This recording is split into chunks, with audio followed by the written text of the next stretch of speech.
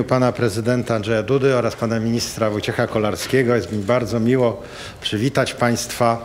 Szczególnie chciałem powitać pana prezesa, panów profesorów, panelistów, a dostojnych gości.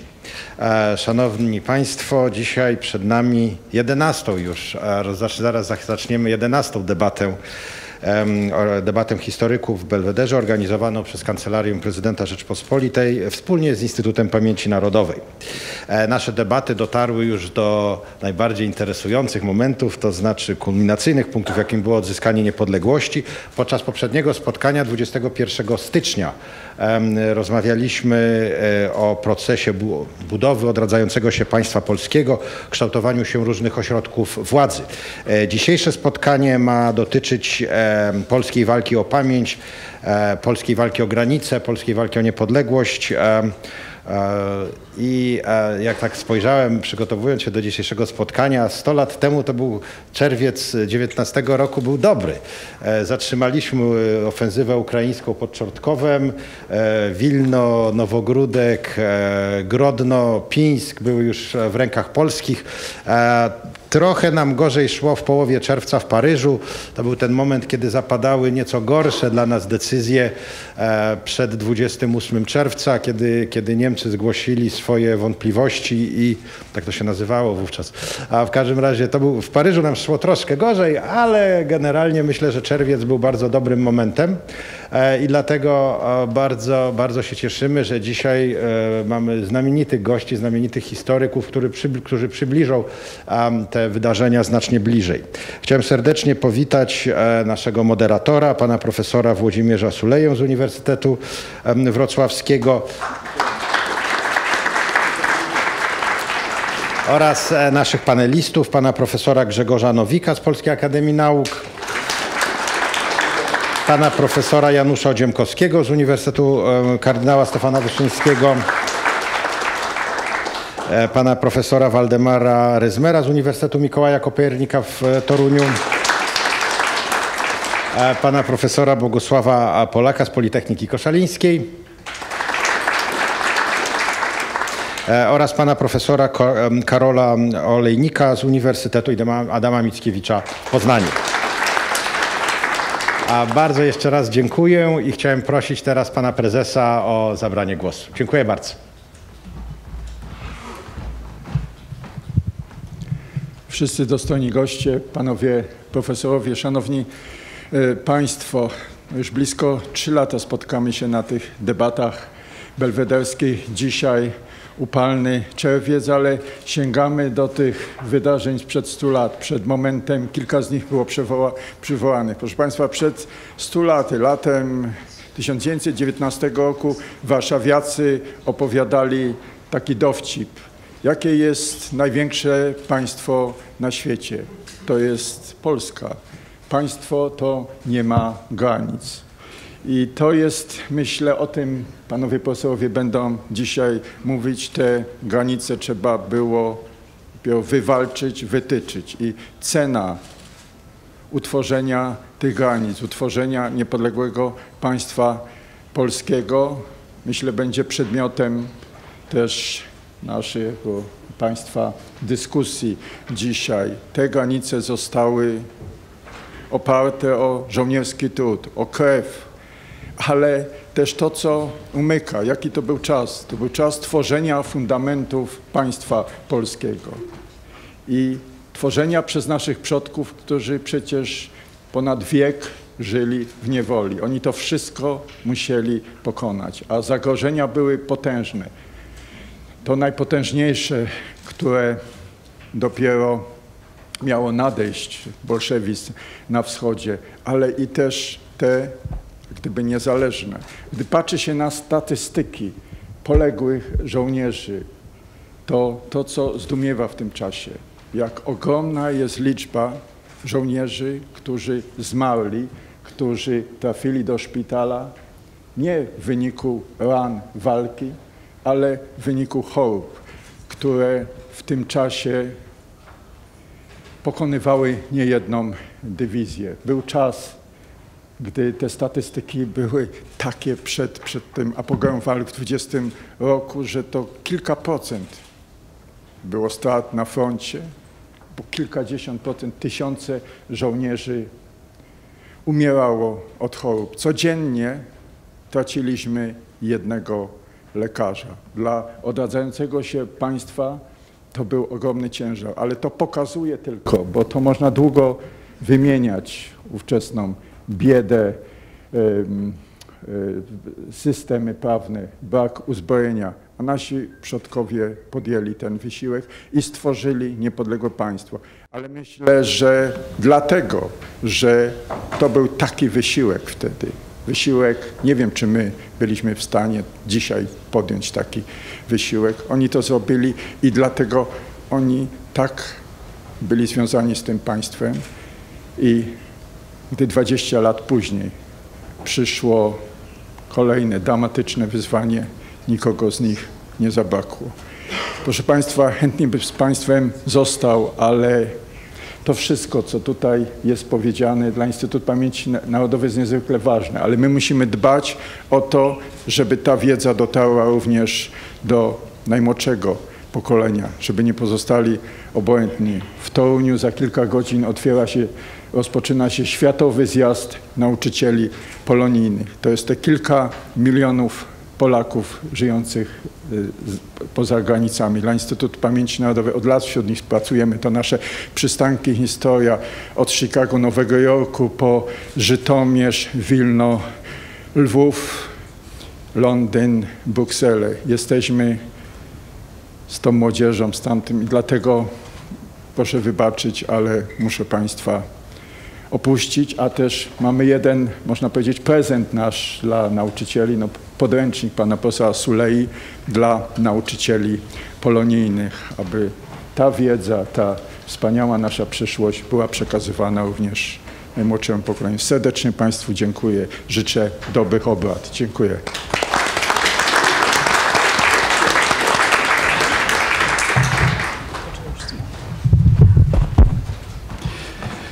Dzień dobry Państwu. Ze swojej strony również witam na aż 11 debacie. Uświadomił mi tutaj y, przedmówca, że to już w stronę nieuchronnie pewnie setnej zmierzamy, no ale to jest jeszcze troszeczkę tych debat po drodze. Bardzo dziękuję za obecność e, wszystkim znakomitym panelistom. Jak zwykle udało się zgromadzić zestaw osób i kompetentnych i takich, którzy ten bardzo skomplikowany czas będą mogli przybliżyć. Mówimy dzisiaj o roku kluczowym, rok 1919 z punktu widzenia formowania się państwa, z punktu widzenia budowy granic, rzeczywiście za takowy możemy uznać, choć oczywiście rok 1920 okazał się tym rokiem w sumie decydującym, ale to nie umniejsza znaczenia tego, co się e, działo wcześniej. Koncentrujemy się przede wszystkim na kwestiach związanych z wysiłkiem militarnym, tak jak na styczniowej debacie mówiliśmy o formowaniu się ośrodków e, władzy i tych lokalnych, i tych centralnych na obszarze Polski, tak dzisiaj chcemy powiedzieć o najrozmaitszych zagrożeniach i tym wysiłku militarnym, o którym tu pan prezes e, mówił, który się przełożył na ostateczny kształt państwa, choć oczywiście formalne zatwierdzenie tego e, wysiłków na dyplomatycznej drodze nastąpiło dopiero w roku 23. To też pokazuje ten czasowy e, dystans. Wybraliśmy tylko rok 19 ze względu na to, że skala problemów, które wtedy się pojawiły, była rzeczywiście olbrzymia i mam nadzieję, przy zachowaniu tej dyscypliny słownej, że do mniej więcej końca XIX roku e, dzisiaj dojdziemy. Ale rozpoczniemy od, tak jak sądzę, przedstawienia sytuacji z przełomu roku 18-19. Te wojny rozpoczęły się przecież, zmagania rozpoczęły się wcześniej. I właśnie pana profesora Ziemkowskiego chciałbym do głosu wywołać, aby tę ogólną płaszczyznę zdarzeń, które potem w XIX roku się rozwinęły, nakreślił. Bardzo proszę, panie profesorze. Y, dziękuję bardzo. Szanowni Państwo, zanim przejdę do sytuacji militarnej, bo to dzisiaj jest y, głównym tematem naszej rozmowy, y, to czuję się w obowiązku, aby przypomnieć, czym była wówczas Polska, ziemie polskie. Otóż mamy zadekretowane przez polityków zachodnich, że Polska ma powstać. Ma być Polska, to jest wielka rzecz. Zgoda wreszcie świata zachodniego na to, że ma być Polska. Tego nie było w wieku XIX nigdy wyartykułowanego. Ale nikt nam nie gwarantował, że ta Polska przetrwa. Myśmy otrzymali szansę. Jak wykorzystamy tą szansę, od nas zależało. Y, gdybyśmy upadli, pewnie będziemy o tym mówić, o tych wydarzeniach, jak przejdziemy do, do wydarzeń militarnych. Jestem pewien, że gdzie nie, gdzie by spłynęła łza. Polakom znowu się nie udało i Europa by wzruszyła ramionami i zajęła się własnymi sprawami. Od nas zależało, jak to wykorzystamy. Początek był niezmiernie trudny, bo tak, mamy państwo, które nie ma skarbu, nie ma wojska, nie ma systemu prawnego własnego, nie ma własnej komunikacji spójnej. Można długo wymieniać, szkoda czasu. Jest o wiele więcej rzeczy, o których możemy powiedzieć nie ma, niż że ma. Ma może zapał, ale też nie całego społeczeństwa. Też różnie do tego y, podchodzi się. To przy okazji poboru, jak będziemy mówić o sprawach militarnych, wyjdzie. Nie ma y, y, Kraj jest kompletnie wyczyszczony z pieniądza, z zapasów, z surowców, z maszyn, z fachowców w ogromnej części. Z żywności, tak, rolnictwo leży w ruinie. Grozi głód, grożą epidemie, brak lekarzy, w Europie szaleje wtedy Hiszpanka.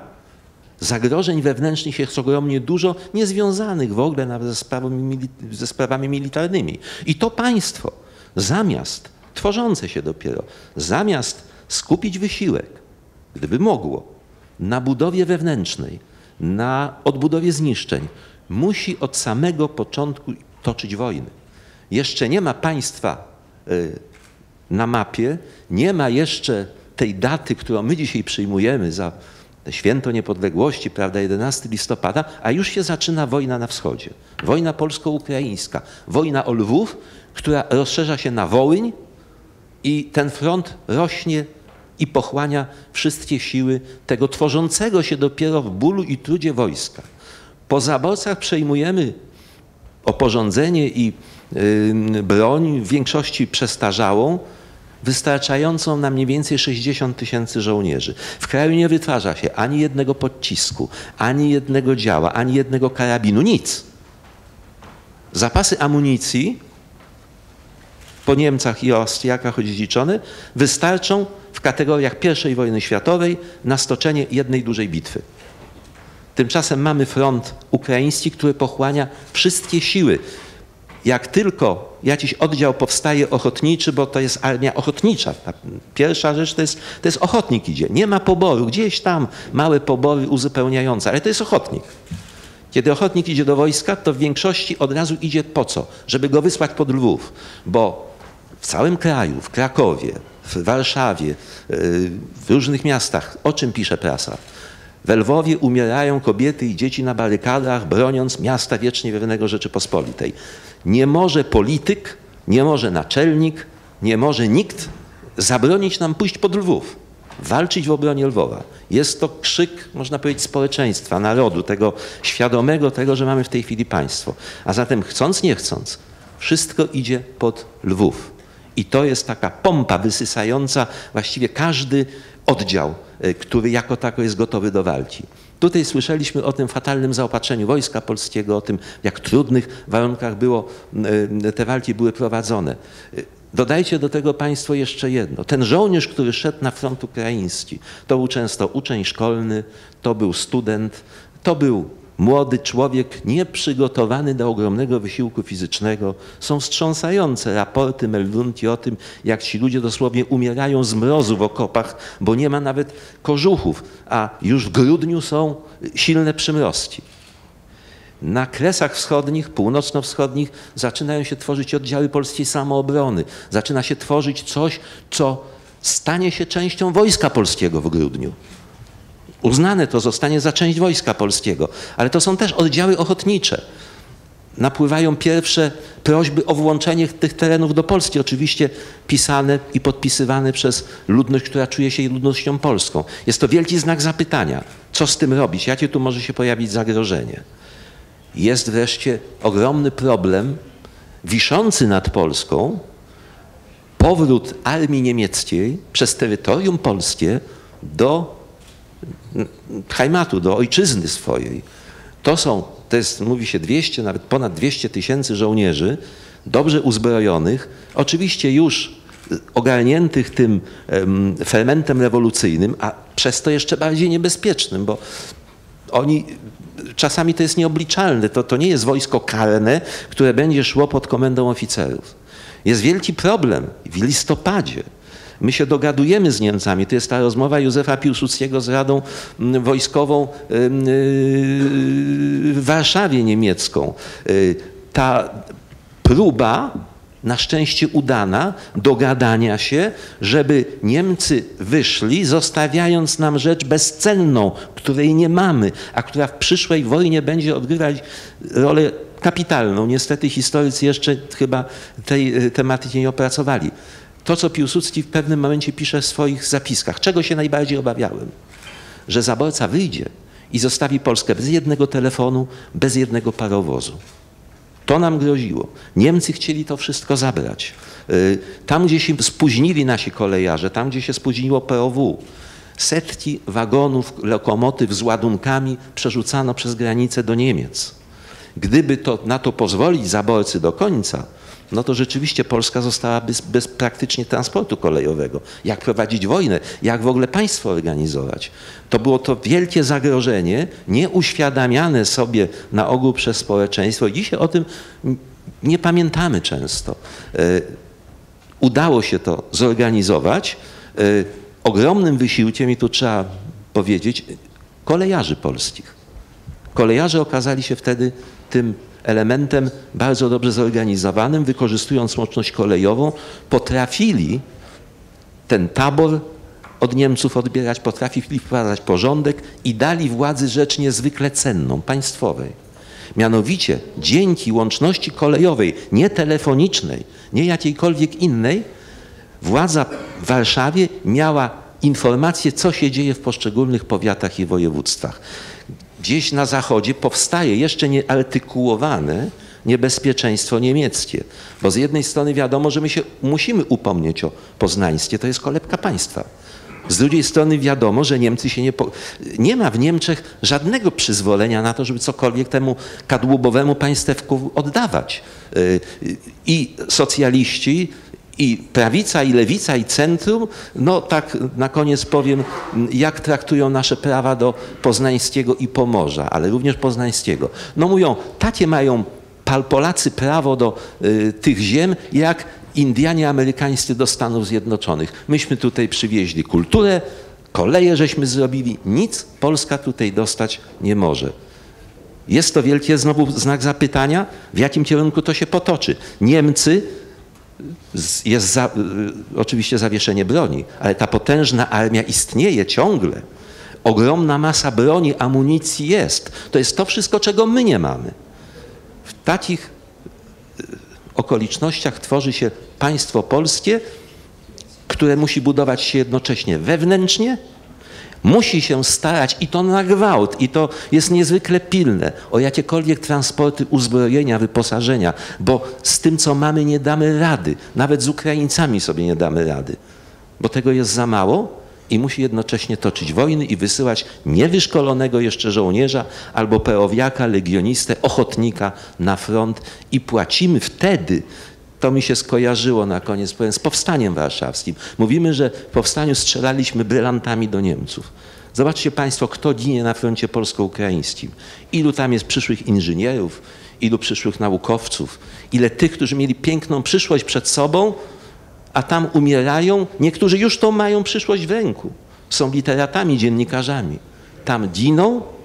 Jest to żołnierz znakomity i jeden z y, pamiętnikarzy ukraińskich, na zakończenie zacytuję z pamięci, napisał takie zdanie. Przegraliśmy we Lwowie, ale jak mogliśmy wygrać?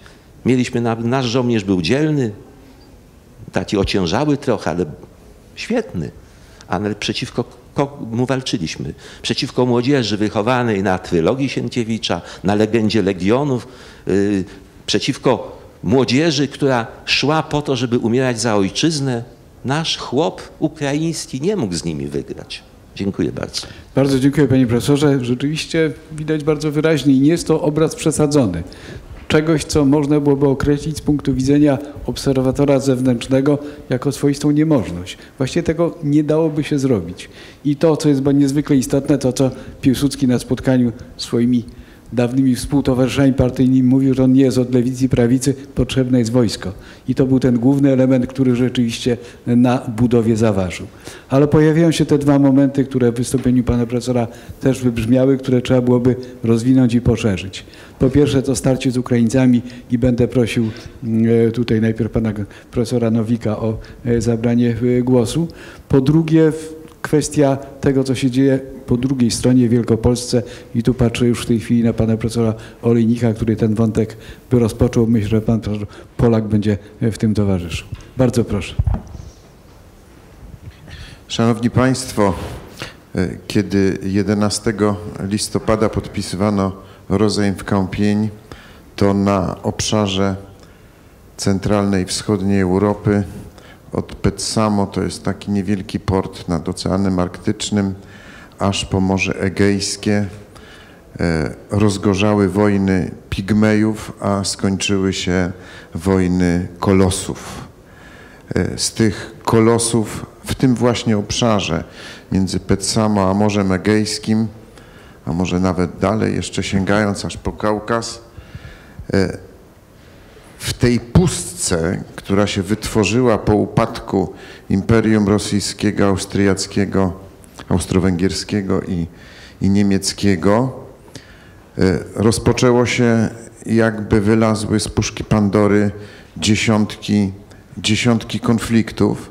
Na dobrą sprawę każde państwo, które było w tym rejonie, od Finlandii aż po aż po Grecję czy Turcję, dalej jeszcze po Republiki Kaukaskie, każdy walczyło z każdym. Nie jesteśmy na tym obszarze wyjątkiem. To, że my mamy konflikt w zasadzie na wszystkich granicach, to, to, to nie jest wyjątek. To jest ówczesna, ówczesna norma, ponieważ to wszystko, co gotowało się w XIX wieku w okresie odrodzenia narodowego i, i, i kształtowania nacjonalizmów, to wszystko wybuchło z tak ogromną siłą e, w jesieni 1918 roku. Musimy sobie uzmysłowić, że ta wojna o Lwów zaczęła się 10 dni przed przyjazdem Józefa Piłsudskiego i ten Lwów walczy w okrążeniu, walczy samotnie, walczy społeczność polska, jak zwykle podzielona i skonfliktowana między sobą.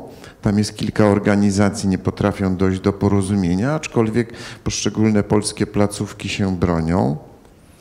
I to, co kształtuje postawę społeczeństwa, można powiedzieć, przez cały listopad i grudzień, to jest zagrożenie przepraszam, użyję tego słowa e, w cudzysłowie, hajdamackiego dla Lwowa.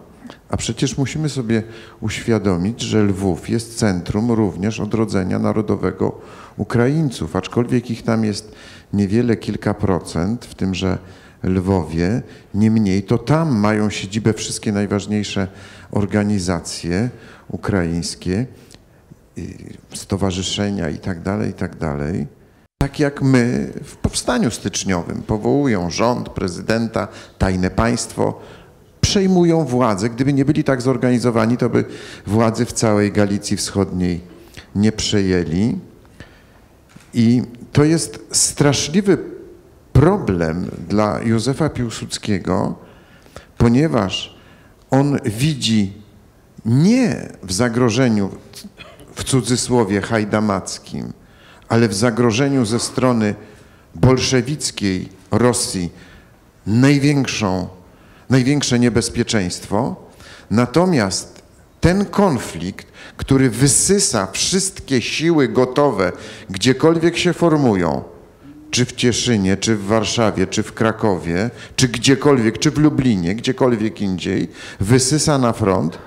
Dlatego pisze w takim liście do Leona Wasilewskiego, który już w styczniu 19 roku jest w Paryżu, zakończyć tę idiotyczną wojnę.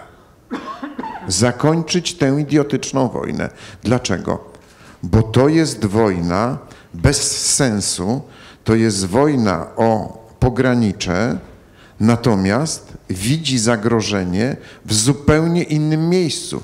Zagrożenie, które może zdmuchnąć nas z powierzchni Europy i to ten, ten konflikt polsko-ukraiński stara się jak tylko może zlokalizować i w jakikolwiek sposób wyciszyć, zamknąć, ponieważ już ma świadomość tego, że od listopada, od grudnia maszeruje na Polskę Armia Zachodnia, Armia Czerwona ze Smoleńska, aby połączyć się z rewolucją niemiecką, zakończyć ten idiotyczny konflikt. No, nie dało się tego zrobić tak szybko, tym bardziej, że konfliktów przybywało. I tak jak wspominałem, pojawia się konflikt kolejny, choć z pozoru zdawać by się mogło, że do, do, dogadujemy się z Niemcami, którzy wracają nieco inną drogą do siebie, no ale Wielkopolska staje się tym punktem zapalnym. Jak to było, jakie to miało znaczenie, właśnie prosiłbym pana profesora Olejnika. Ośmielony tym, że pan przewodniczący stoi, czy ja mogę stać też? No ale to jest niebezpieczeństwo, bo wykład zawsze prowadzę na stojąco. Dzisiaj nie miałem wykładu. Głos ci zabiorę spokojnie. W domu nie mam nic do gadania, w związku z tym jak wstałem i zaczynam, to może to potrwać dłużej, panie przewodniczący. Dobrze. Nim zacznę o Wielkopolsce, to chciałbym jedną rzecz powiedzieć. Tu padło pan przewodniczący IPN-u, powiedział, jak to się stało, czy mieliśmy, czy, czy, czy w ogóle mogliśmy to wygrać. No więc ja odpowiem tak. Kwestia dotyczyła nie tylko sił zbrojnych, o których będziemy mówili, ale przede wszystkim kwestia dotyczyła świadomości tego społeczeństwa, w którym 80% w niektórych częściach byli analfabeci. Weźmy to pod uwagę. W niektórych częściach Polski, Wielkopolsce analfabetów nie było, ale w innych częściach Polski byli 80% to byli analfabeci. Po co to mówię? Ano po to, że jak mogła wyglądać świadomość konieczności budowy własnego państwa, jeżeli się jest analfabetą? Odpowiedź znajdziemy w końcu stycznia 1919 roku. Pytanie. Ja mam taki zwyczaj, nieraz zadaję słuchaczom pytanie. Ilu poszło do wyborów w styczniu 1919 roku? 70 przeszło procent. Proszę to sobie przyłożyć do współczesnego uczestnictwa w wyborach. O czym to świadczy? Ano o tym, że to społeczeństwo jednego było pewne, że musi być własne państwo. Co do tego nie było wątpliwości. Tutaj pan przewodniczący naszych obrad skierował nasze y, obrady powiedzmy na te od razu dwa wydarzenia. To, co się działo w Galicji, to, co będzie się działo, będzie się działo w, y, Wielkopolsce. To wszystko zgoda. Ale teraz pojawił się jeden podstawowy czynnik, mianowicie no, budować państwo w pewnej przestrzeni trzeba. Jaka to ma być ta przestrzeń, prawda? I tutaj są zasadnicze różnice w zależności od tego, kto jaką koncepcję polityczną reprezentuje. Przede wszystkim powinny to być granice bezpieczne. Zostawiam na razie Wielkopolskę, bo dusza mi się rwie na wschód. No więc, proszę Państwa, jaka to miała być ta wschodnia granica? No właśnie bezpieczna, to znaczy jaka? Proszę sobie uzmysłowić. Wszyscy pamiętamy, jak wyglądają te tereny, poczynając powiedzmy mniej więcej od wysokości Brześcia i dalej na wschód aż do Dniepru. Ano przez środek jest, płynie Prypeć, prawda? A wokół na lewo i prawo są bagna Polesia. A więc one dzielą ten cały obszar. Jak teraz tę granicę usadowić? Gdzie ją oprzeć, żeby ona była bezpieczna? Będziemy o tym jeszcze mówili. To jest drugi czynnik. Trzeci czynnik, o którym chciałbym wspomnieć, może odpowiadając na pytanie, które postawił tutaj pan przewodniczący IPN-u, jak to się stało, była ciągłość.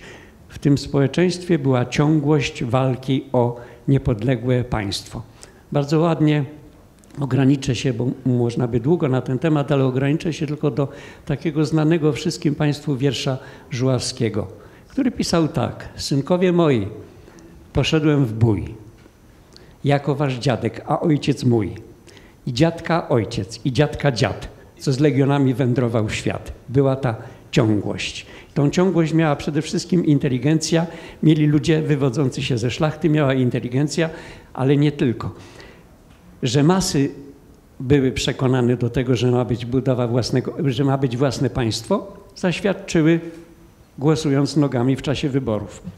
Inteligencja zaświadczyła idąc do legionów i idąc do innych formacji wojskowych, o których będziemy mówili. No a teraz przechodzę do tej Wielkopolski. Tu padło, że Polska, pan profesor Nowik mówił, jaka ta Polska była zniszczona i tak dalej. Panie profesorze, nie cała, nie cała. Wielkopolska, w Wielkopolsce wojny nie było. To jest pierwsza sprawa. Rolnictwo wielkopolskie funkcjonowało lepiej niż rolnictwo angielskie. Pod koniec, pod koniec 18 roku produkcja w Wielkopolsce, produkcja rolnicza była większa niż produkcja największych gospodarstw angielskich. To jest pierwsza sprawa. Gdzie to szło? Ano szło do Rzeszy. Prawda? I teraz tak, pojawił się problem. Zadzierać z tymi Niemcami, czy nie zadzierać z tymi Niemcami? Ja o sprawach wojskowych, siedzący tutaj obok mnie pan profesor Polak, powstanie wielkopolskie i cały ten, powiedzmy, wojenny wysiłek opisał bardzo dokładnie, łącznie z tym, co robili poszczególni proboszczowie. Podejrzewam, że teraz Wikarych pisze w Wielkopolsce, co oni robili w czasie powstania wielkopolskiego. Skupię się na sprawach ogólniejszych. A więc tak, Wielkopolanie znajdują się w granicach sprawnie funkcjonującego państwa niemieckiego, które mimo przegranej wojny nadal jest sprawny pod względem urzędniczym, działalności administracji. Wszystko tam pracuje zupełnie normalnie. Świadczenia wzajemne między państwem niemieckim a Wielkopolską są następujące. Państwo niemieckie, wielkopolskie wspiera przede wszystkim artykułami przemysłowymi i to jest zima 18-19 węglem, natomiast Wielkopolska zaopatruje wyniszczone Niemcy żywność. Świadczenia wzajemne. Nie ma się więc co dziwić, że po pierwsze, trzy razy politycy wielkopolscy zastanawiali się nad tym, czy wszcząć jakąkolwiek, nazwijmy to tak, awanturę wojenną, czy nie. To jest pierwsza sprawa. Druga sprawa to jest taka, że była świadomość tego, a społeczeństwo wielkopolskie ma jedną niezaprzeczalną cechę. Mianowicie jest społeczeństwem, które żyje w państwie praworządnym. Żyje w państwie, w którym można załatwić, jeżeli cokolwiek nie jest zabronione, to jest dozwolone. Drzymale nie pozwolono zbudować chałupy, to zbudował wóz, bo to nie było zabronione. Kiedyś pan profesor Nowik ładnie powiedział, gdyby taki Drzymała w Królestwie Polskim spróbował zbudować taki wóz, to 12 godzin by już był daleko na Syberii, powiedzmy. To jest wszystko zgoda.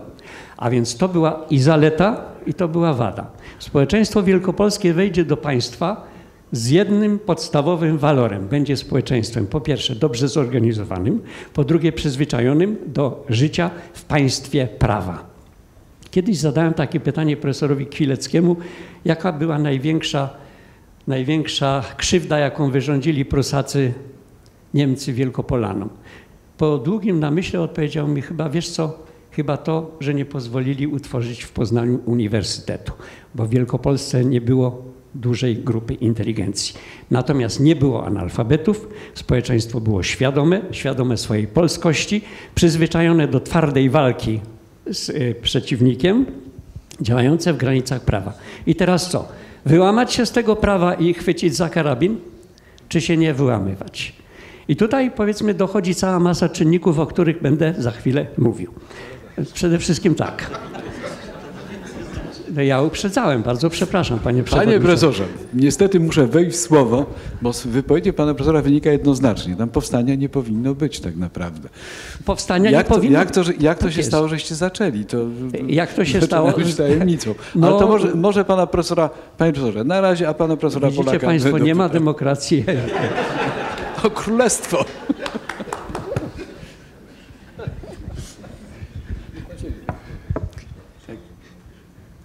Ja to nawy- też jak, jak kolega profesor Leźnik nawykowo, zawodowo wstajemy, bo się inaczej nie godziło, ale jeśli pan przewodniczący pozwoli. My nie zapominajmy, że y, były różne pomysły, nie tylko, niekoniecznie wielkopolskie, y, co do opanowania generalnie ziem polskich byłego zaboru pruskiego. Y, Bardzo dobrze się stało, że niecałe dwa lata temu na y, debacie armii generała Hallera y, w Zamku Królewskim poruszono kwestię inspiracji francuskiej przerzucone armii generała Hallera do Gdańska. Niektórzy dodawali także fragment desantu do Kołobrzegu, bo tam takie warunki jakoby, jakoby istniały.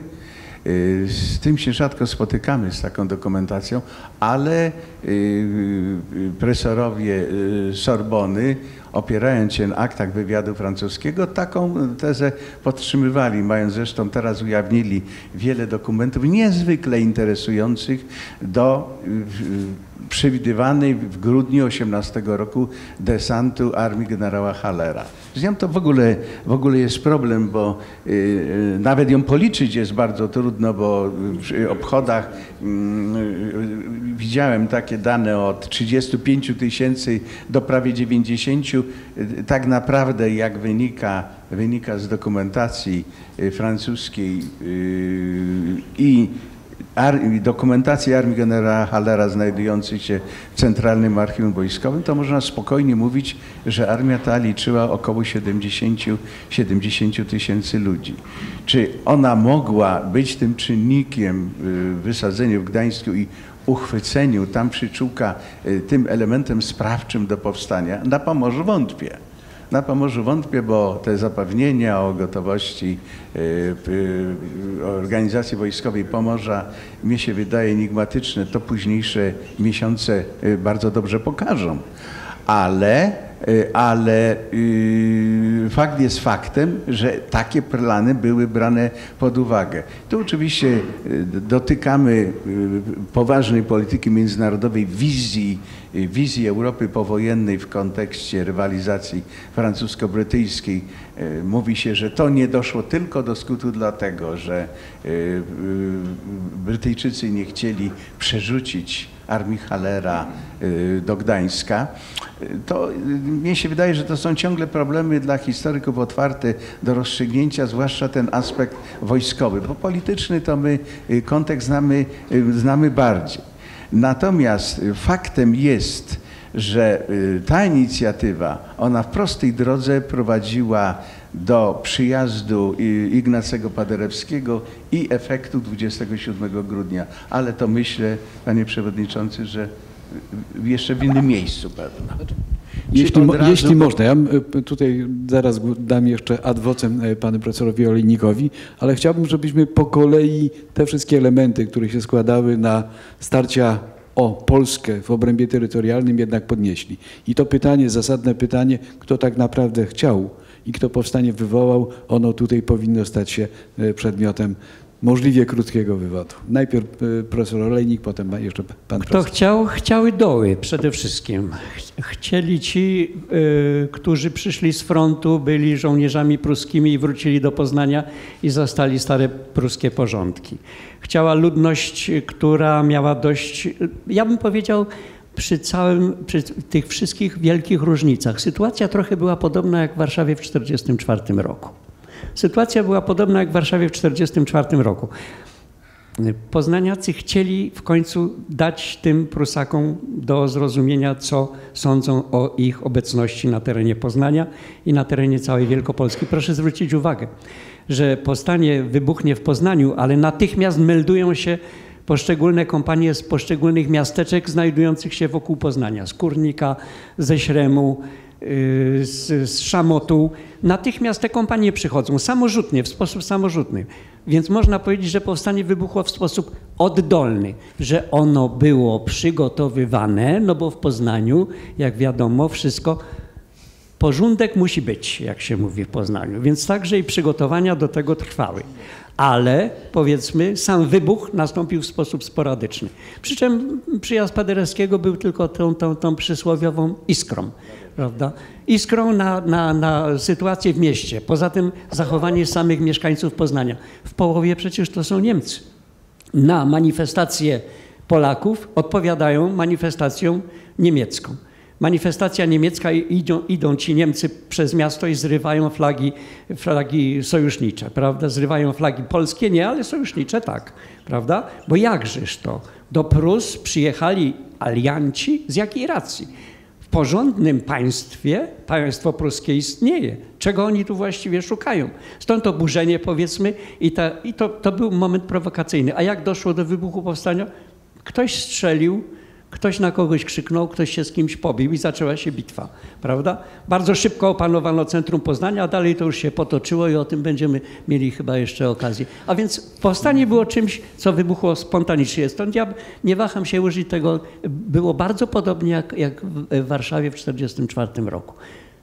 Prawda? Tutaj wszyscy dyszeli koniecznością skoczyć tym Niemcom do gardła. Czyli była beczka prochu, potrzebna była iskra, rzeczywiście. Natomiast jeszcze chciałbym pana profesora Polaka dopytać o rzecz następującą. To, co dla mnie jest takie charakterystyczne, to, co wiąże się z kontekstem, bo ono wybuchło w bardzo dobrym momencie, przypomnijmy. Niemcy mieli problem wewnętrzny u siebie w Berlinie, to po pierwsze. A dla mnie jest rzeczą charakterystyczną, że ówczesny major sztabu generalnego nazwisku Taczak jedzie do Berlina zobaczyć, co tam się dzieje, wraca do Warszawy, ale zatrzymuje się w Poznaniu i na coś czeka. Ale, ale, mało tego, jak mu proponują dowództwo powstania, to on dzwoni do Warszawy, czy on może zostać tym dowódcą powstania, bo porządek musi być. No ale jednocześnie to pokazuje udział ośrodka centralnego, który musi być y, no, udziałem bardzo jednak krytym. Także bardzo proszę. Proszę Państwa, y, to co y, powstało później zostało nazwane Wojskiem Wielkopolskim, ja to kiedyś zachęcony przez pana profesora Czubińskiego, proszę Państwa, zrobiłem rzecz taką. Trzech był młody, był pełen werwy, miał zdrowie i policzył to Wojsko Wielkopolskie. I proszę Państwa, my możemy powiedzieć, że to rzeczywiście to jest więcej niż armia Halera. To jest, proszę Państwa, w czerwcu 1919 roku 102 tysiące żołnierza w pierwszej linii. Do jednego można policzyć zestawów znajdujących się w sprawozdaniach y, dowódca głównego już wtedy y, y, generała Musińskiego, znajdujących się w Centralnym Archiwum Wojskowym. Do jednej strony, do jednego dokumentu, do jednego żołnierza. Ale proszę Państwa, stworzenie, stworzenie tego wojska w takim czasie, w takich warunkach, kiedy w zasadzie jeszcze Y, o, o, czym mówił profesor Olenik, ten czynnik polityczny się waha, czy my tą władzę przejmujemy, czy nie, czy porządek musi być, bo to się tak naprawdę stanie 8 y, stycznia, to do 8 stycznia dowództwo główne, które istnieje od 28 grudnia, proszę Państwa, w, w cywilnych paltocikach przychodzi do siedziby sztabu w hotelu Royal, w cywilnych ubraniach, nikt ich w ogóle nie widzi, na zewnątrz nie pojawiają się do 5 stycznia żadnego, żadne rozkazy. I w ciągu kilku dni, proszę Państwa, do 15 stycznia mamy strukturę organizacyjną na szczeblu powiatów, na szczeblu miast, mamy przygotowany y, aparat y, y, poboru, rozważana jest możliwość poboru obowiązkowego dla roczników 1900 i 901. W ostatecznie, skoro major y, Taczak dowiaduje się, że ma to robić jego następca, bo on cały czas się uważa za dowódcę tymczasowego na ten moment. I proszę Państwa, to co w tym czasie robi y, kapitan bez, bez akademii, dowódca batalionu, Y, drugorzutowego armii niemieckiej jest czymś rzeczywiście szokującym. Ale jeżeli przyjrzymy się mentalności Wielkopolan, że doskonale zdawali sobie sprawę, że żarto, żarty za moment się skończą, bo proszę Państwa, fala sukcesu szła do połowy stycznia. To, co de facto powstańcy osiągnęli w powstaniu, to jest połowa stycznia. Druga połowa stycznia, a zwłaszcza jego końcówka, to jest przejęcie inicjatywy przez stronę niemiecką. I teraz staje problem utworzenia czegoś, co będzie później ważne przez cały rok 19 frontu przeciwko niemieckiego. Ale to znowu jest kolejny element. Tak, to jest temat też na oddzielne opowiadanie, ale posuwajmy się chronologicznie i apeluję teraz do pana profesora Rezmera o kwestie dwie. Po pierwsze, pojawia się kolejne zagrożenie, które wypływa na odcinku niespodziewanym, czyli na odcinku polsko-czeskim. Ale pojawia się też zagrożenie to fundamentalne, o którym Piłsudski mówił, czyli bolszewicy i prosiłbym o wprowadzenie do tego podwójnego obszaru. Panie Przewodniczący, Szanowni Państwo, przed chwilą jeszcze raz patrzę na zegarek. 45 minut już wciut więcej debatujemy. I słuchając moich przedmówców, otóż doszedłem do takiej refleksji, że te wystąpienia, które no były, to jest taka mała pigułka stanu polskiej historiografii. No, chyba wszyscy siedzący na tej sali no, nie mają wątpliwości, że okres 1918-1921 nazywamy okresem wojen o niepodległość i granice. No to jest poza dyskusją. Ale dzięki polskim historykom, ludziom pasjonatom historii, od tamtych wydarzeń do chwili obecnej polska historiografia tegoż właśnie okresu, no nie zawaham się powiedzieć, no przeszło 15 tysięcy publikacji, no już ma na swoim koncie. Jak dobrze pójdzie, z racji tej, że mamy setną rocznicę, kolejne będą konferencje, sympozja, publikacje. Być może do końca 1920 roku, e, 2020 roku będziemy mieli, być może, mówię, to jest mój szacunek, około 20 tysięcy takich publikacji. I ktoś powie, bardzo dobrze. Też tak uważam. Tylko, że proszę Państwa, jeśli się przyjrzymy temu dorobkowi, to się okaże, że masę spraw przerobiono, opisano wprost drobiazgowo do szczebla plutonu, odtwarzając działania plutonu, szwadronu. Nawet pan profesor Olejnik przed chwilą mówił o zrywaniu flag, prawda, kto, gdzie i jak.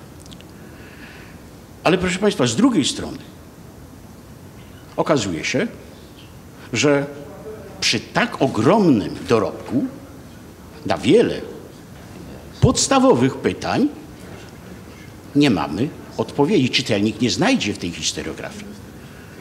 W słowie wstępnym pan profesor, pan doktor Szarek zwrócił uwagę, że w tej wojnie trzy, trzy piąte bezpowrotnych strat Wojska Polskiego to są straty na skutek warunków, w jakich te, e, ta wojna się toczyła. Głównie chorób zakaźnych. No ale wypadałoby tą kwestię rozwinąć. Czy to było zaniedbanie, czy niemożność do e, stosowania się do tego, co żołnierz potrzebuje.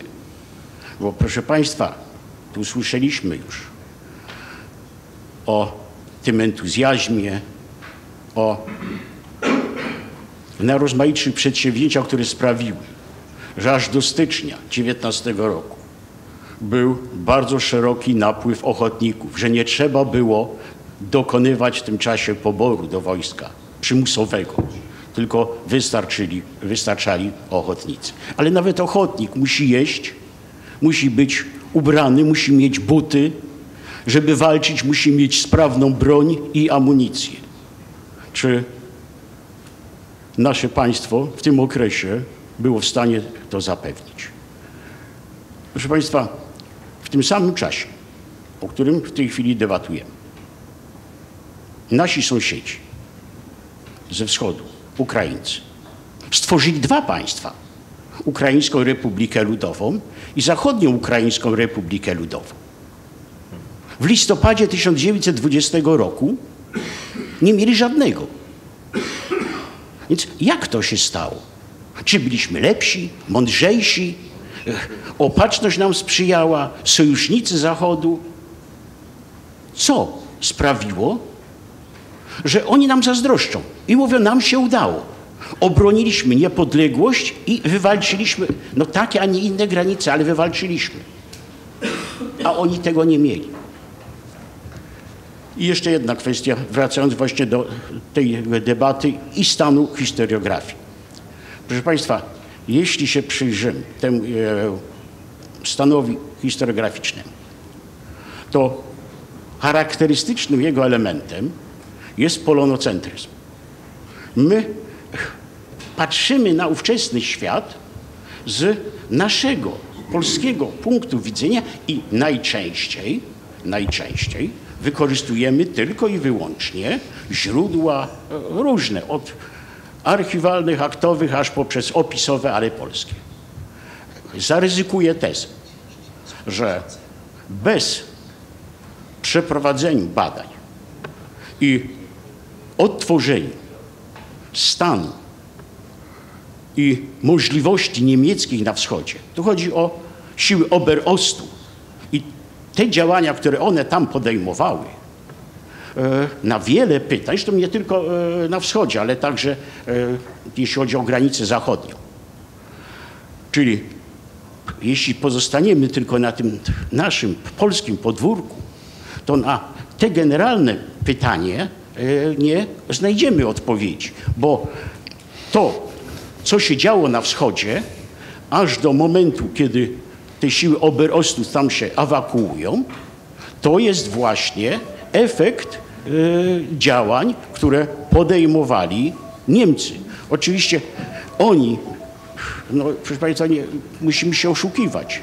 Jednak na wschodzie byli tą najpoważniejszą siłą militarną. Dziękuję. No, pan profesor Rezmer zachował się jak trochę niesforny uczeń, bo nie odpowiedział na pytanie, y, to, które otrzymał i to, co powiedział bardzo słusznie zresztą, to jest temat nie tyle nawet na kilka debat bardzo poważnych, co kilka bardzo poważnych też konferencji, które by te kolejne pięć tysięcy publikacji y, stymulowało. Więc ja wracam do tego, o czym tutaj mówiłem i uważam, że y, siłą rzeczy odnosząc się do dorobku całego, który tu panom jest znakomicie znany, utrzymując jednak no, nasz punkt widzenia, cokolwiek nie powiemy, bo my z tej perspektywy będziemy patrzeć ja się o, o, to będę upominał, żebyśmy spoglądali z polskiego, a nie innego punktu widzenia na to, co się wtedy rozgrywało. Więc proponuję wrócić do tych kwestii, które się wiążą z kolejnymi zagrożeniami, bo tak, już panu profesorowi Nowiko, Nowikowi daję zaraz mikrofon, aby właśnie te elementy dotyczące i Śląska Cieszyńskiego i zwłaszcza tego generalnego problemu zagrożenia bolszewickiego e, tutaj wybrzmiało. To jedno. Po drugie, już tak sygnalizując na późniejszy e, moment, to w kwestiach generalnych, o których mówi pan profesor przy tym zagrożeniu niemieckim na początku, to my jednak musimy spróbować też odpowiedzieć, korzystając z tego, co już ustalone zostało, a to, co ciągle w historiografii znaczy jest rozdzielane o tym kierunku wschodnim i zachodnim. Natomiast chciałbym, żebyśmy spróbowali powiedzieć, w jaki sposób to się zazębiało, jak to działało na zasadzie naczyń połączonych, tak żeby to też mogło wybrzmieć. Bardzo proszę, pan profesor. Proszę Państwa, od listopada 18 roku udało nam się uchylić od dwóch konfliktów, przy czym tego drugiego aż trzy razy. Pierwszy to są z okupacyjnymi wojskami niemieckimi, to jest umowa Piłsudskiego z Radą Żołnierską, warszawską i ewakuacja Niemców z pozostawieniem broni i uzbrojenia. Drugi konflikt, który tylko nas dotknął lekko na Podlasiu w rejonie Międzyrzecza, to jest konflikt z forpocztami Oberostu, ale my sobie nie zdajemy sprawy. To jest pół miliona żołnierzy, a ostatni żołnierze niemieccy opuszczają Charków 3 stycznia 19 roku. A więc to jest wynegocjowanie umowy, że Oberost ewakuuje się linią Brześć, Białystok, Grajewo do Ełku przez Prusy Wschodnie i potem znowu przez węzeł toruńsko-bydgoski i Nakło ewakuuje się do Niemiec. I tu uniknęliśmy trzykrotnie starcia z tą półmilionową, niepokonaną armią niemiecką, po raz pierwszy zawierając umowę, że ona właśnie tą linią będzie ewakuowana.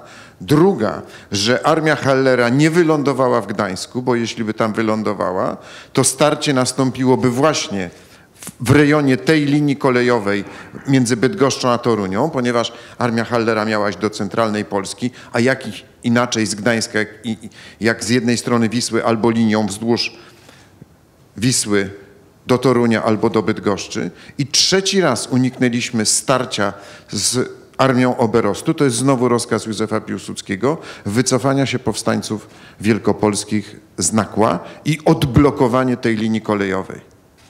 Trzykrotnie uniknęliśmy tego starcia. Możemy oczywiście gdybać, co mogłoby się stać, ale jednak no, musimy rozważać perspektywiczne zagrożenie. Tego się udało uniknąć. A teraz konflikty, które istnieją. Pierwszy konflikt to jest ten, o którym mówiłem, Galicja Wschodnia i Lwów z Zachodnioukraińską Republiką Ludową. Listopad i grudzień powstaje 18 roku front na Wołyniu w rejonie Buga. On się szybciutko przerzuca na drugą stronę, rejon Włodzimierza Wołyńskiego. Dochodzimy szybciutko do rejonu Kowla i to jest już konflikt z Ukraińską Republiką Ludową z centrum w Kijowie. Kolejny konflikt z trzecim państwem, to jest z Rzeszą Niemiecką powstanie wielkopolskie, aż do rozejmu w Trewirze. To jest bardzo poważny konflikt i grozi bardzo poważnymi konsekwencjami. I kolejny konflikt to jest konflikt z nowym państwem, które nigdy nie istniało i dzisiaj nie istnieje już, z Czechosłowacją, która uzgodniła sobie, wpuszczając, można powiedzieć, w kanał albo podpuszczając Francuzów, że zostanie ono odtworzone w historycznych granicach korony świętego Wacława, a więc roszczą sobie pretensje do Śląska całego Cieszyńskiego, mimo że tam 5 listopada zawarta została umowa dwóch rad narodowych o podziale nawet gmin i poszczególnych miejscowości między, między przyszłe państwa. Umowa miała być E, potem potwierdzona przez władze państwowe. Niestety uśpieni tym porozumieniem z 5 listopada między dwiema radami narodowymi pozwoliliśmy na to, że oddziały polskie formowane w księstwie cieszyńskim poszły pod Lwów, tak jak no, z każdego kawałka kraju w tym czasie pod Lwów na tę idiotyczną wojnę, skutkiem czego przed zarządzonymi na 26 stycznia wyborami do Sejmu 23 stycznia. Czesi posługując się fortelem wartym chyba zagłoby, wprowadzając w błąd komisję sojuszniczą, która tam była i przedstawicieli państw Antanty, żądają opuszczenia Śląska Cieszyńskiego przez e, Wojsko Polskie i polską administrację, odwołując się właśnie do tej umowy, potwierdzenia, że Czechy zostaną odrodzone w historycznych granicach korony świętego Wacława. Ale i my mamy jeszcze ten konflikt zapomniany, o którym nic nie wiemy. Proszę Państwa, my mamy od listopada, grudnia konflikt z Węgrami o starostwo spiskie. Otóż wkraczają tam oddziały, no nieliczne, ale polskie, dowodzi nimi y, przecież Włodzimierz Zagórski, Galica, prawda? Y, dochodzimy prawie pod Kierzmark. Wyrzucamy stamtąd żandarmerię i administrację austriacką, ale gdzie dwóch się bije, tam trzeci korzysta, przychodzą Czesi i wyrzucają Węgrów na południe, a nas, nas stamtąd na północ. W każdym razie jest jeszcze konflikt o Spisz i Orawę. Ale to wszystko są jednak konflikty o pewne pogranicza. Natomiast najpoważniejszy konflikt rodzi się, tak jak już wspominaliśmy, od wschodu. Mianowicie już 16 listopada zostaje stworzona Armia Zachodnia, która rusza ze Smoleńska. W jej składzie są dywizje, które się nazywają Łotewska, Litewska, Białoruska, ale jest i dywizja zachodnia, to są kadry dla przyszłych narodowych czerwonych armii, ponieważ będziemy tworzyć, mówię słowami Lenina i Stalina, republiki proletariackie i przepierzenie, którym jest Polska, trzeba przewalić i uczynić z niego pomost dla światowej rewolucji. Ale forpocztą tej Czerwonej Armii są Czerwone Gwardie. W Mińsku w grudniu już opanowują Mińsk Czerwone Gwardie, zanim wchodzi tam Armia Czerwona. Tam jest proklamowana Białoruska Republika. Jak dochodzą w, e, oddziały Armii Czerwonej na początku stycznia pod Wilno, no to już Czerwone Gwardie są w Wilnie. Walczą z nimi polskie samoobrony, które od 5 grudnia są częścią Wojska Polskiego.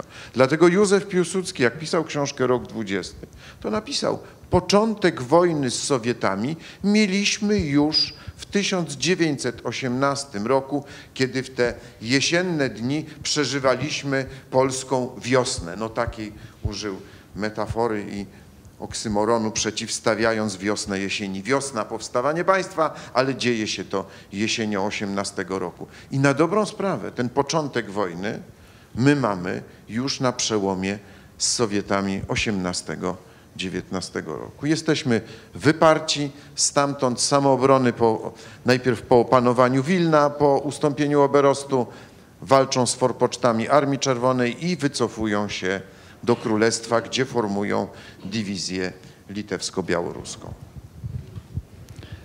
By odnieść się do tego, o czym pan profesor powiedział, to przywołam też to, co e, mówił e, Piłsudski, że to, co otrzymam na Zachodzie, to będzie geszenk, podarunek ze strony koalicji. My przestrzeń mamy na wschodzie i musimy na e, to przede wszystkim spoglądać. Więc myślę, że to zestawienie tego możliwości na zachodzie i konieczności aktywnej polityki na wschodzie, również w aspekcie militarnym e, też musimy, musimy to uwzględniać. Właśnie te naczynia połączone z tym, że pan profesor Rezmer zaczyna, pan profesor Olejnik e, Tylko gwoli uzupełnienia wypowiedzi pana profesora Nowika chciałbym postawić kropkę nad i to jest przełom 1918-19 roku, pojawienie się konfliktu polsko-litewskiego. Na szczęście jeszcze w tym momencie jest to konflikt bezkrwawy. Za kilka miesięcy on będzie już krwawy ale w tym czasie, o którym mówimy, czyli przełom 18-19 roku, jest bardzo już widoczna rywalizacja między Polakami a Litwinami o Wilno i Wileńszczyznę. Bo proszę Państwa, zwracałem przed momentem uwagę na ten nasz punkt widzenia. I oczywiście w na ziemiach polskich dla świadomego naszego e, rodaka nie do pomyślenia było, żeby w Rzeczpospolitej, w odrodzonej Rzeczpospolitej, no nie było tych największych ośrodków, do których z całą pewnością zaliczano Wilno.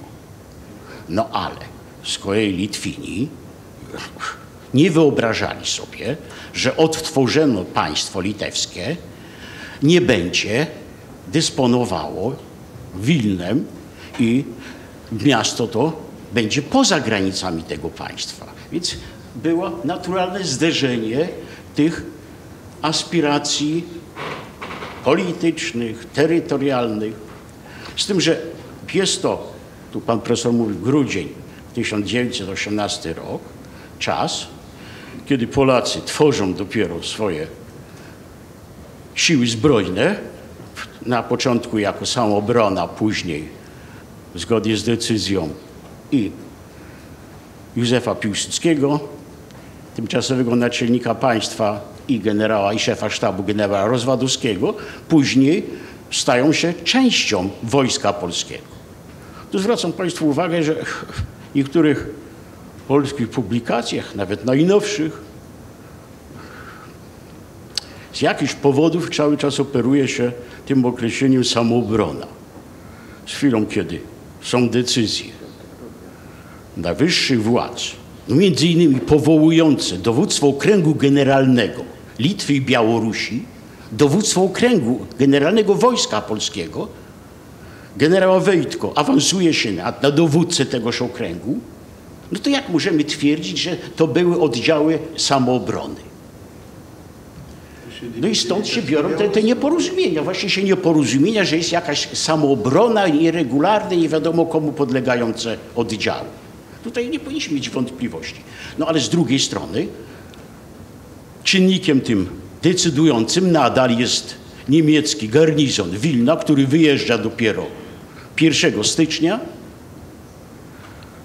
Od zachodu, słyszeliśmy, podchodzi, podchodzą jednostki zachodniej armii sowieckiej, a dokładnie Pskowska Dywizja Strzelców, bo ona na kierunek Wilno jest nastawiona. I walki, które się rozpoczynają najpierw na przedpolach Wilna, a później w samym Wilnie, no według mnie są początkiem wojny polsko-sowieckiej. Bo wtedy właśnie po raz pierwszy zetknęły się żołnierze dwóch regularnych armii ze strony sowieckiej, Pskowskiej Dywizji Strzelców, z polskiej podstacjonowa Wilejka, Ułani z e, oddziałów podlegających generałowi Wejce, jeszcze raz podkreślam, dowódcy okręgu generalnego Litwy i e, Białorusi. E, prawdopodobnie w to wspólne to, to zagrożenie ze strony sowieckiej, niepewność co do intencji niemieckich sprawiła, że ta rywalizacja polsko-litewska aż do wiosny XIX roku no, ma charakter właśnie propagandowo-polityczny.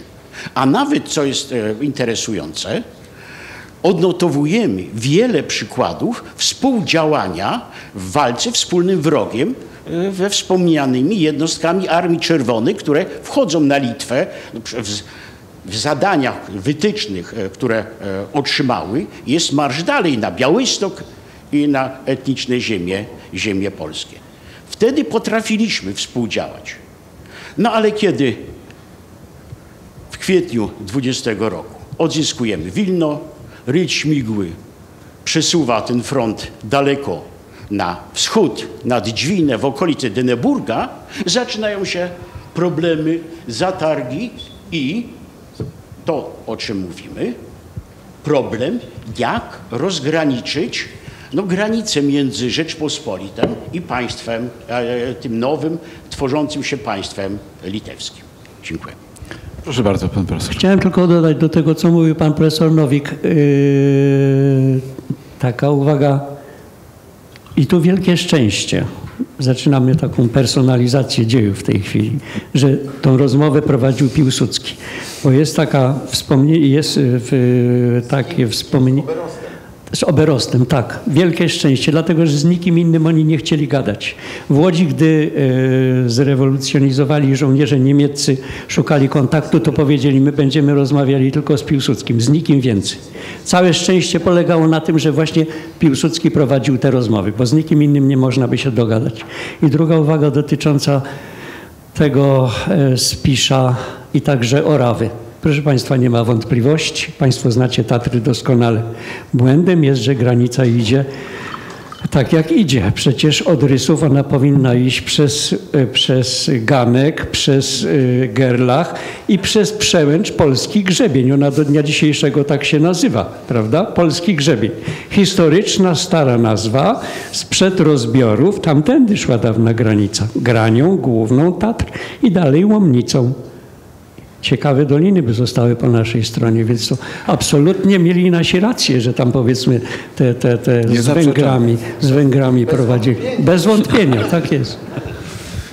Proszę Państwa, ponieważ profesor Rezmer już zaprowadził polskie wojska do Wilna, no do którego mieliśmy też dotrzeć, to stawiam jednak to zasadnicze główne pytanie, bo jednak do połowy XIX roku w tym odczuciu nie tylko polityków, Główne zagrożenie to jednak jest zagrożenie niemieckie, cokolwiek nie powiemy. Natomiast zagrożenie główne, które pojawia się z bolszewikami, nie powiem, że jest lekceważone, ale nie jest jeszcze doceniane w podobny sposób. Wracam do tej kwestii, o której mówiłem pięć minut temu. To połączenie kierunku zachodniego z kierunkiem wschodnim. ta kwestia rzeczywistych naczyń połączonych również w obszarze militarnym, konieczności no, działania przy świadomości krótkiej ko kołdry y, sił, którymi dysponujemy. Chciałbym, żeby panowie podjęli temat właśnie tego, jak w kategoriach strategicznych z uwzględnieniem kontekstu paryskiego ta sytuacja do połowy XIX roku na militarnej płaszczyźnie się rysuje. Profesor Dziąkowski, bardzo proszę. Jeśli można, y, parę miesięcy temu miałem okazję wziąć do ręki książkę jakiegoś zachodniego autora, który napisał takie zdanie, że powstaje państwo polskie po I wojnie światowej i ono od razu walczy z wszystkimi. Takie kłótliwe, takie agresywne, na wszystkie strony walczy. Y, jest oczywiście pytanie po tym wszystkim, co tu zostało powiedziane. Mieliśmy tyle wojen. Czy mogliśmy ich uniknąć? Mogliśmy ustępując Niemcom, Czechom, Litwinom, Ukraińcom. Mielibyśmy wtedy Królestwo Kongresowe powiększone o część y, Małopolski, y, albo i nie, no ale powiedzmy, że Podgórza. z, z Krakowem, ale bez Podgórza, ale za to bez Suwałk, bez Sejm, bez części Lubelszczyzny i Podlasia, bo tam Ukraina swoją granicę przeprowadzała. Można było uniknąć. Tylko czym byłaby Polska? Strzępem Polski ani to nie odpowiadało naszym oczekiwaniom jako narodu, a na przyszłość jak najgorzej yy, yy, wnioskowało, bo takie państwo nie miałoby szans na przetrwanie. Czyli byliśmy skazani na te wojny. Ale to, co najważniejsze, to wszystko były małe wojenki w porównaniu z tym, co grozi ze wschodu. Tam grozi po prostu, że nas nie będzie. I Europa Zachodnia nie wyśle ani jednego żołnierza, żeby nas ratować. I to przećwiczyliśmy w wieku, w roku XX, no pewnie jeszcze będzie okazja kiedyś na ten temat porozmawiać. Natomiast te naczynia połączone, y, no to jest bardzo wyraźne. Y, prawdziwym darem dla bolszewików i dla ich pomysłu marszu przez Polskę jest wojna polsko-ukraińska, która y, kiedy Armia Czerwona podchodzi pod linię Niemna i Bugu, zbliża się, w Polsce centralnej nie ma ani jednego oddziału gotowego do wysłania tam na front. Jest, tworzy się w pośpiechu dywizja litewsko-białoruska z ochotników, którzy uciekają z Kresów Wschodnich, pod, tam pod łapami, pod Ostrołęką te, te oddziały się tworzą i to są zaledwie cztery bataliony z czteroma działami. I mają do obsadzenia front prawie 100 kilometrów. Co to jest za wojsko? To jest prawie nic. Drugi moment, kiedy bardzo wyraźnie widać, jak nam przeszkadza ta wielość frontów, to jest, proszę Państwa, moment, kiedy e, mamy wyprawę na Wilno i e, wchodzimy. Piłsudski postanawia uprzedzić uderzenie spodziewane Armii Czerwonej, bo ono miało nastąpić tyle, że późną wiosną. I to była jedna z odważnych jego decyzji i w moim przekonaniu osobiście y, uważam, że jedna z podstawowych decyzji, która y, sytuuje wojnę naszą na wschodzie w roku XIX. Bo nie ma Armii Czerwonej, która co te cztery bataliony, no jeszcze z grupą y, generała Listowskiego, no to w sumie było jakieś 15 tysięcy wojska od Brześcia po granicę pruską. Bronienie się na takiej linii z taką ilością wojska to jest samobójstwo jedyna szansa dla słabego pójść i narzucić swoje warunki walki nieprzyjacielowi, który jest silniejszy i nie spodziewa się, że ten słaby będzie na tyle bezczelny, że sam potrafi zaatakować. To, czego nie zrobiliśmy w powstaniu listopadowym i co potem wytykano Chłopickiemu strasznie, y, doświadczonemu dowódcy, robi Piłsudski, dyletant tego, któremu zarządzano, że nigdy nie dowodził żadnym większym oddziałem poza brygadą.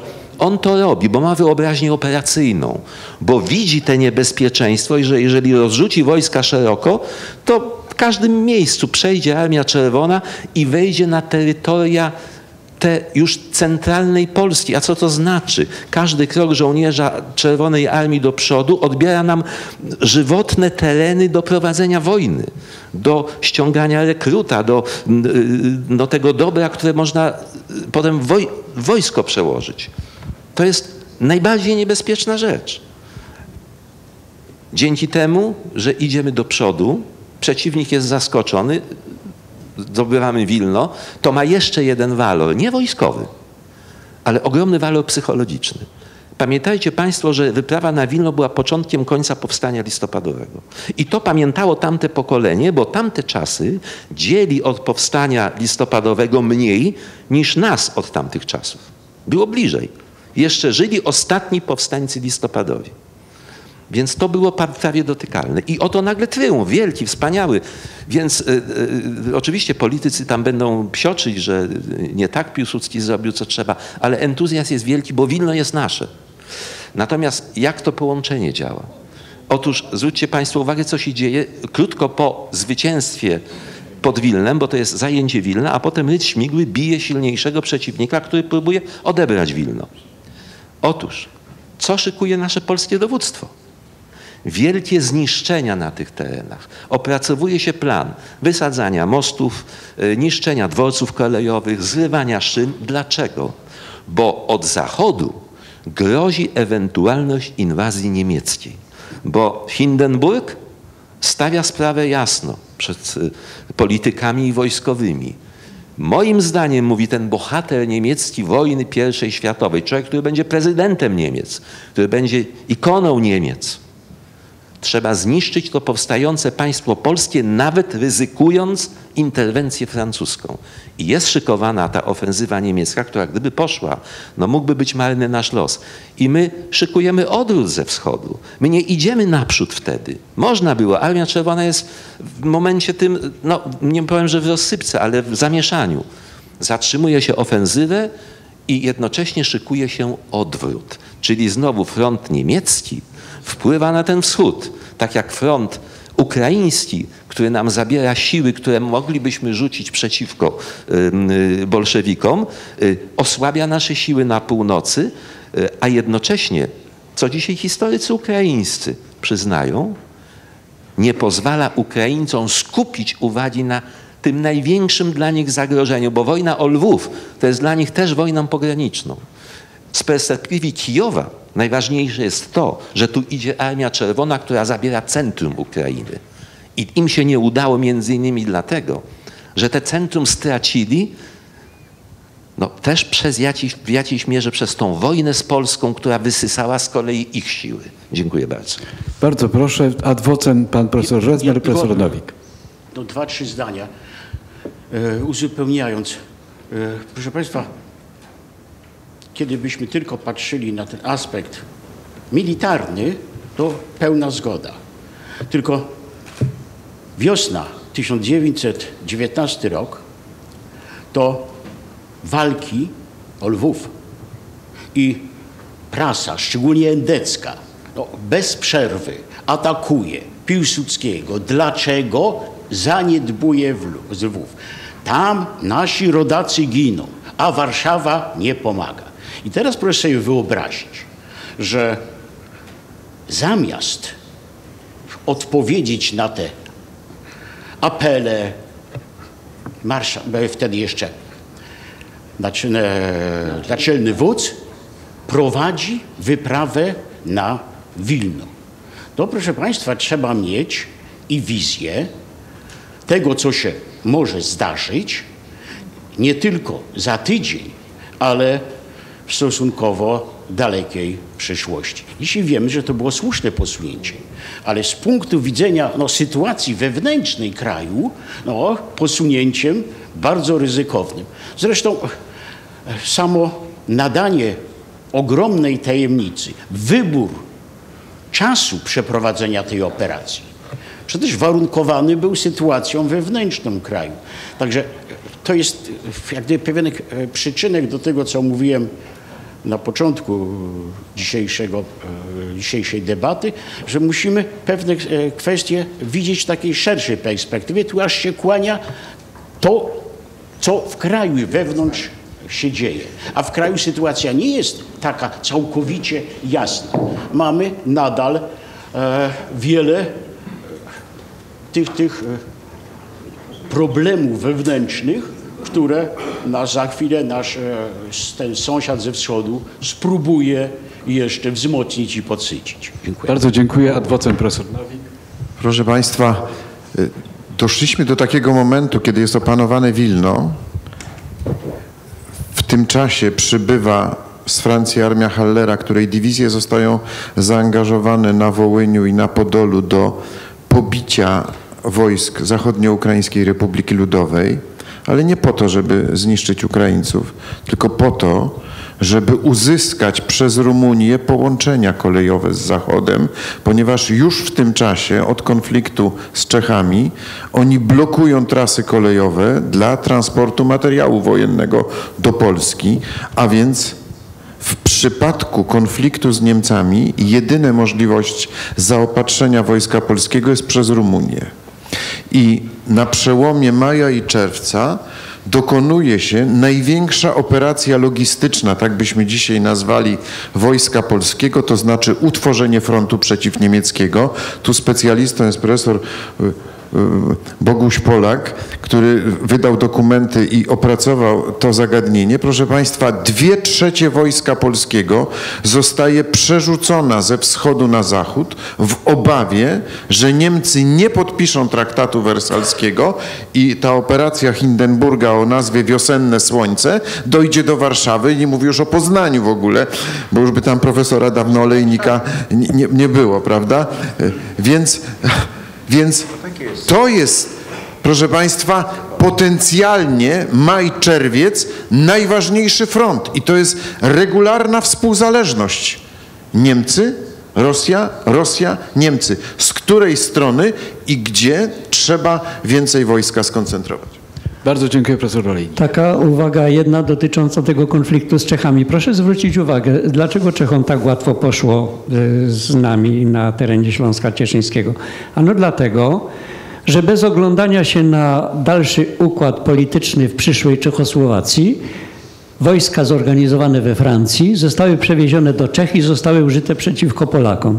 Czy myśmy mieli na Zachodzie też swoje. Owszem, mieliśmy armię Hallera i co? Przyszła od razu w momencie niesłychanie krytycznym do Polski. Nie przyszła. Dlaczego? Dlatego, że górę zaczynały brać już względy polityczne. Już się myślało o tym, jak będzie Polska wyglądała po, kto będzie rządził, po, odzyska, po uzyskaniu pełnej niepodległości, po zbudowaniu granic, prawda? I tutaj, prawda, no, tak, jest taki piękny fragment w, w wspomnieniach jednego z uczestników konferencji w Paryżu, mianowicie Romera, tego, który służył naszym politykom kwestiami geograficznymi, mapami itd., tak itd. Tak I on opisuje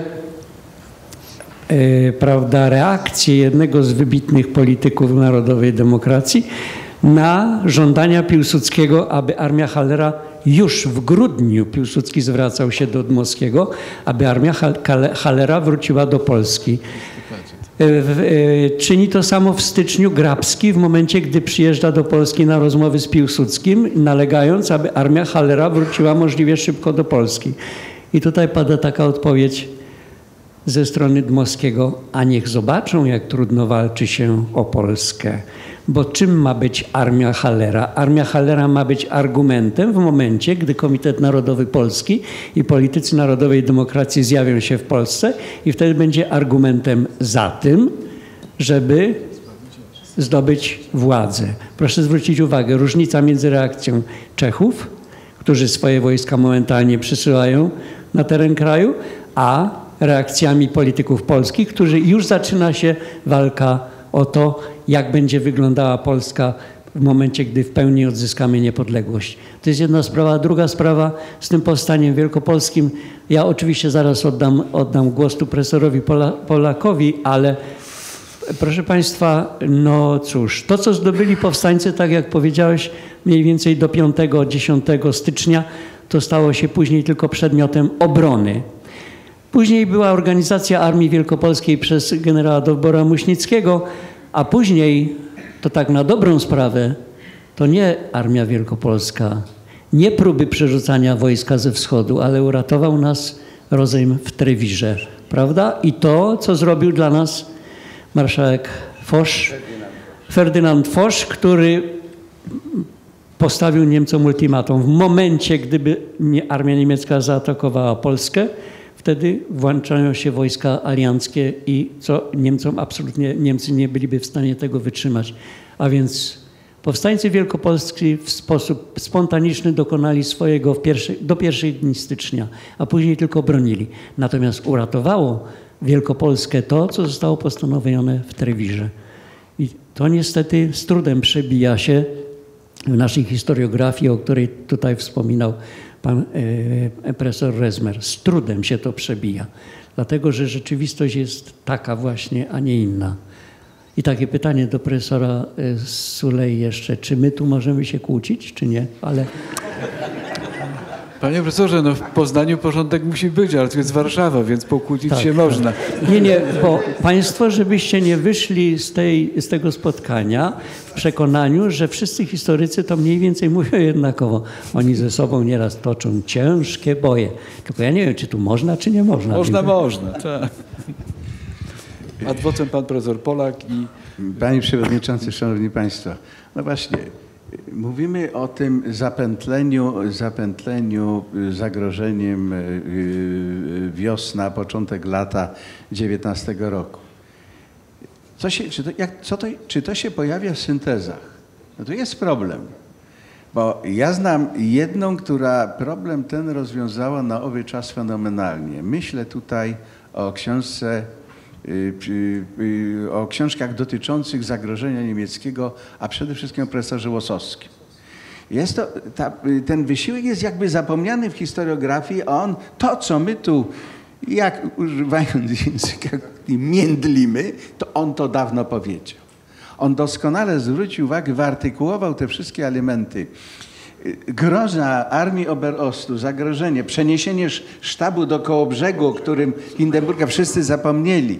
Zapomnieli o roli Francuzów w tym momencie. Tak jak Trewir uratował w, listopadzie, to tak, tak podpisanie przez Niemcy 28 czerwca, nie, będziemy lada moment setną rocznicę obchodzili y, traktatu, y, y, traktatów w Paryżu, Wersalu.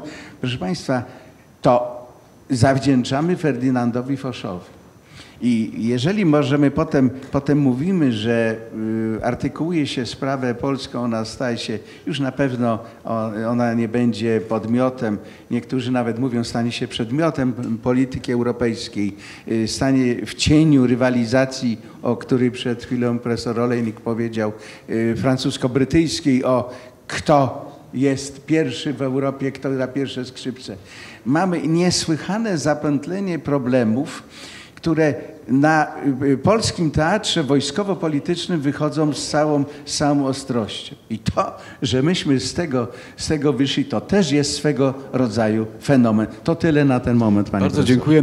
Proszę Państwa, żeby utwierdzić pana profesora Olejnika w przekonaniu, że tu demokracji nie ma, to oddam głos na salę, ale tylko trzy pytania przewiduję, ze względu na to, że no czas nas goni, mamy jeszcze pół godziny e, tak naprawdę. Bardzo proszę. Ewa Kozłowska. Ja chciałabym zapytać o Pomorze i Kaszubów, szczególnie o Kaszubów. E, Od, e, może niekoniecznie od początku I wojny światowej, ale od roku 18. To pierwsze pytanie, kto jeszcze pani? Proszę. Biorąc pod uwagę, że walka to nie tylko walka militarna, na co żeśmy dzisiaj się sfokusowali, to chciałam zauważyć, że właściwie należałoby sformułować temat takiej debaty idealnej, idealnej, walka o kształt i granice, lata 1916 16, od 16. Proszę Państwa, wydaje mi się, że jednak y, nie doceniamy, y, tu wejdę na Litwę, jak zwykle, nie doceniamy jednak roli moderatorstwa i wyreżyserowania scenografii, w której żeśmy w 18 roku wylądowali z Litwinami. Tak na, propos, Litwini oczywiście de facto nie byli niepodlegli, ale formalnie z punktu widzenia prawa międzynarodowego byli od lutego 18 roku niepodległym państwem. W związku z czym to też trochę zmienia optykę. I teraz yy, polityka niemiecka, bo pan profesor pytał, ja tak spróbuję, w tym upale ciężko się myśli. Proszę państwa, yy, naprawdę yy, wczoraj wyszła z księgarni monografia naukowa zbiorowa pod redakcją Grzegorza Kucharczyka, pierwsza niemiecka okupacja. Jest tam 250 stron o Litwie i Oberoście. Wśród tych 15 tysięcy pozycji z historiografii, o których pan profesor mówił, jest kilka moich, ale nieliczne z nich, nieliczne z nich rozróżniają Polska i Rzeczpospolita i to się ma do kształtu, do walki o kształt.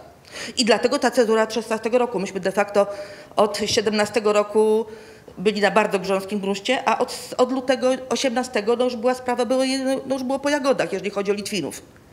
Y, W związku z czym to wszystko się zaczyna wiedzieć. Y, I zupełnie wchodzę na grunt jako córka poznanianki i warszawiaka. To jest ciężka mieszanka. Ja się nie wypowiadam zupełnie na temat powstania wielkopolskiego, no tylko szapoba. Natomiast zastanawiam się, czy jednak przesłanką do tego wybuchu nie było to, co ja organoleptycznie sprawdziłam na polach pod Verdun, y, groby w Wilnie.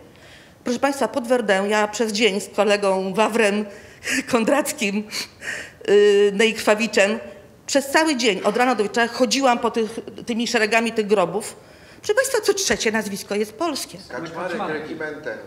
Dokładnie, ale y, no, myśmy naprawdę ganiali jak harty w różnych tych.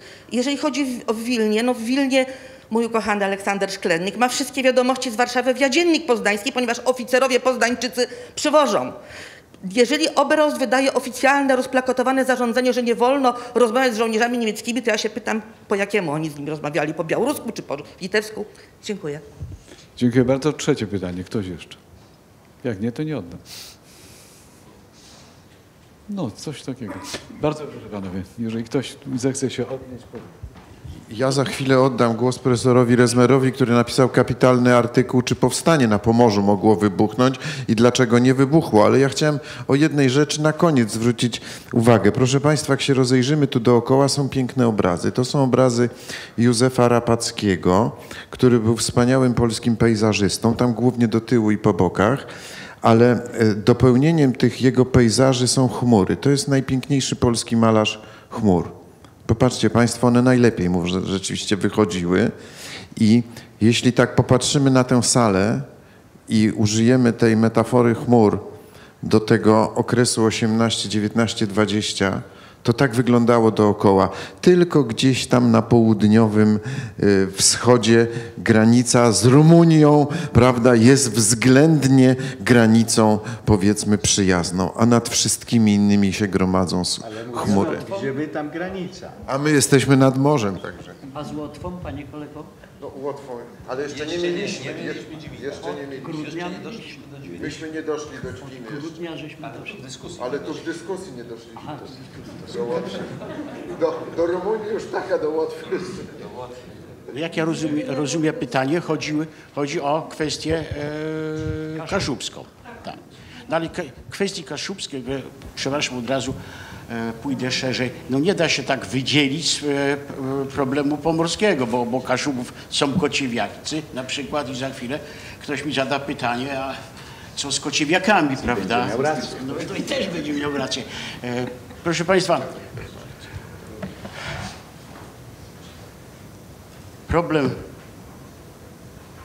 Pomorza, Pomorza, w tym właśnie Kaszubów, tych Kociewiaków, jak się znowu śledzi historiografię, no to jest kwestia bardzo interesująca. Były, był taki moment, całkiem długi, w okresie PRL-u, kiedy próbowano tworzyć obraz niezłomnych mieszkańców Pomorza, którzy ileś tam dziesiątków lat tęsknili, żeby wejść w skład odtworzonej Polski, chcieli w tym państwie się znaleźć. No i kiedy pojawiły się możliwości, to robili wszystko łącznie z przygotowaniem do czynu zbrojnego, podobnego jak to było w Wielkopolsce, no żeby tą e, sprawę przyspieszyć.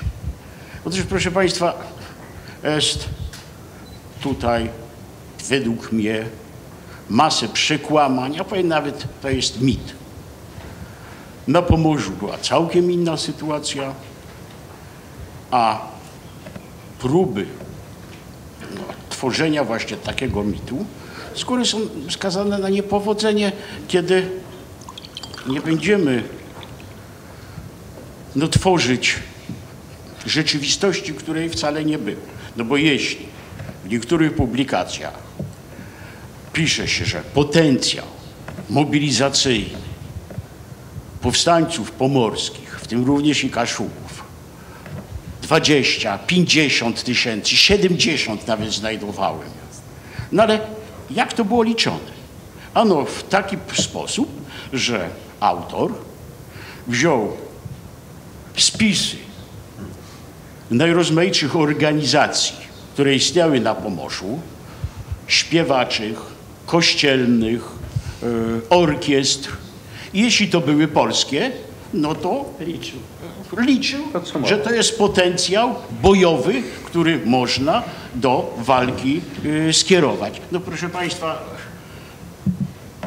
już wielki geniusz Napoleon mówił, że Pan Bóg jest zawsze po stronie silniejszych batalionów i tutaj no, był oczywiście e, pewien potencjał, który tworzyli Polacy, żołnierze armii pruskiej, którzy po zakończeniu wojny wracali do domu.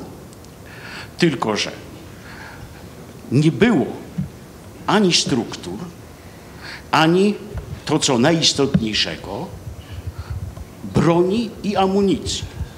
Mamy w archiwach protokoły z rewizji przeprowadzanych przez władze pruskie, które dotrzymały donosy, że Polacy coś przygotowują, prawda, to na wzór e, Wielkopolski.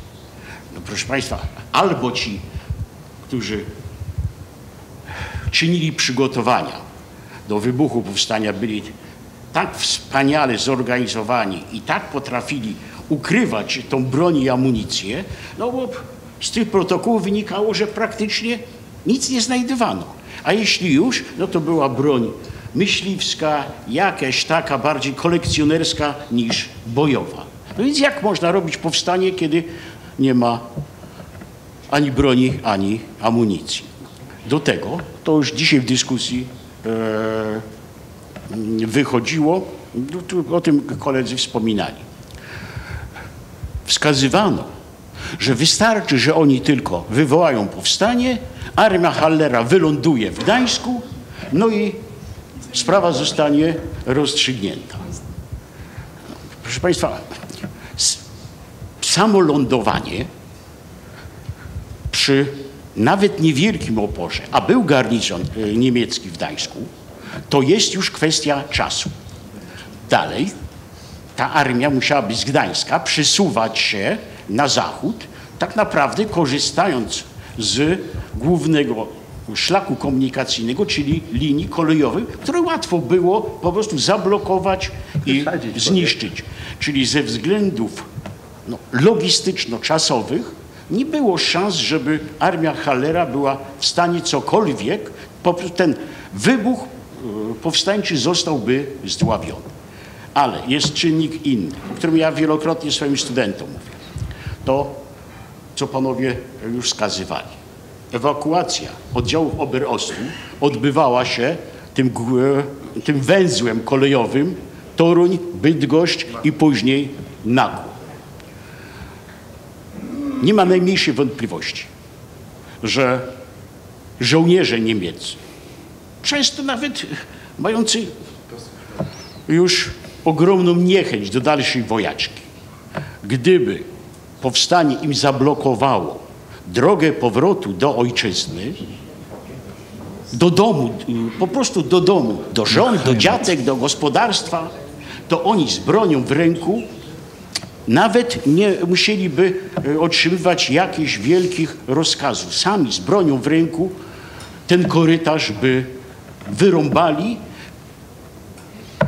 a, no, a po drodze musieliby rozprawić się z potencjalnymi powstańcami.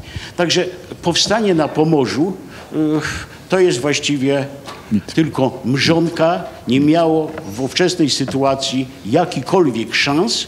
No i oceniam, że całe szczęście, że nie wybuchło, bo i tak decyzje co do tego obszaru podejmowane były w innym gremium, czyli na konferencji pokojowej w Paryżu. Proszę Państwa, proszę. jeszcze, jeszcze tylko jedno zdanie co do Kaszubów. Ja przeglądałem materiały archiwalne już z 20 roku, kiedy właśnie front północny generała Hallera, czy oddziały podległe temu frontowi, wszedł na obszary Pomorza i również na Kaszuby. To jest bardzo wiele meldunków o niechęci Kaszubów do e, polskiego wojska. Są meldunki, że praktycznie siłą trzeba było na przykład zdobywać podwody czy kwatery. Były duże opory, y, nie tylko Kaszubów. To opory wynikało z powstania sztucznej granicy. Oni tak to e, odbierali. Polsko-niemieckiej i polsko-gdańskiej. Ci miejscowi ludzie byli tym zaskoczeni. Często okazało się, że sąsiad mój jest już za granicą. I nikt ich nie pytał, jak ta granica ma przebiegać, więc oni uważali, że stała się jakaś dziwna sprawa łącznie z ich osobistą krzywdą. Tak to odbierali. No zapewne takie sytuacje zdarzały się też w innych rejonach. na To prawda. Tak, Mhm. więc to nie jest żadna e, wojenna nadzwyczajna rzecz, prawda? Proszę Państwa, proszę zwrócić uwagę, że mimo tej bardzo obszernej historiograficznej płaszczyzny, tych iluś tysięcy y, publikacji, to co, do czego jesteśmy tutaj zgodni, że do czerwca 19 roku zagrożenie niemieckie było wiele większe niż wszelkie inne, też w, tej, w tym obiegu takim publicznym niespecjalnie się przebija. To jest sprawa pierwsza. Druga sprawa to jest taka, że to zagrożenie, które było śmiertelnym zagrożeniem już w roku 20, ale pojawiło się wcześniej, e, właściwie wiosną e, 19 roku zostało w jakimś sensie zablokowane. I te konstatacje traktuję jako swoisty punkt wyjścia do ostatniej, niewielkiej już czasowo płaszczyzny wymiany myśli, właściwie tak jak bardziej wstępu do rozmowy o tym, co było w roku 20, co będzie przedmiotem debaty następnej, ale stawiam tutaj w tym momencie dwie kwestie. Pierwsza kwestia wiąże się właśnie z tym pytaniem postawionym w sposób kategoryczny przez niejakiego Denikina, kto rzeczywiście tę sowiecką władzę od Gibieli spasił w 19 roku jak na to dzisiaj z tej perspektywy również histo- historiograficznej e, spoglądamy. A po drugie, to jest ta kwestia, która siłą rzeczy też musi tu wybrzmieć i wybrzmiewała już dzisiaj. Kiedy zniknęła ta pierwsza zachodnioukraińska Republika Ludowa, pozostała Ukraina Kijowska. I w jaki sposób możemy ją postrzegać w tej, w tej płaszczyźnie lata 19 roku? Jako potencjalnego sojusznika, czy w dalszym ciągu jako przeciwnika, z którym należy walkę toczyć? Który z panów demokratycznie tym razem? Profesor Odziemkowski. Bardzo proszę. Y, Czyli kwestia, rozumiem, y, Ukrainy i. I? A, Białorusi, tak, tak.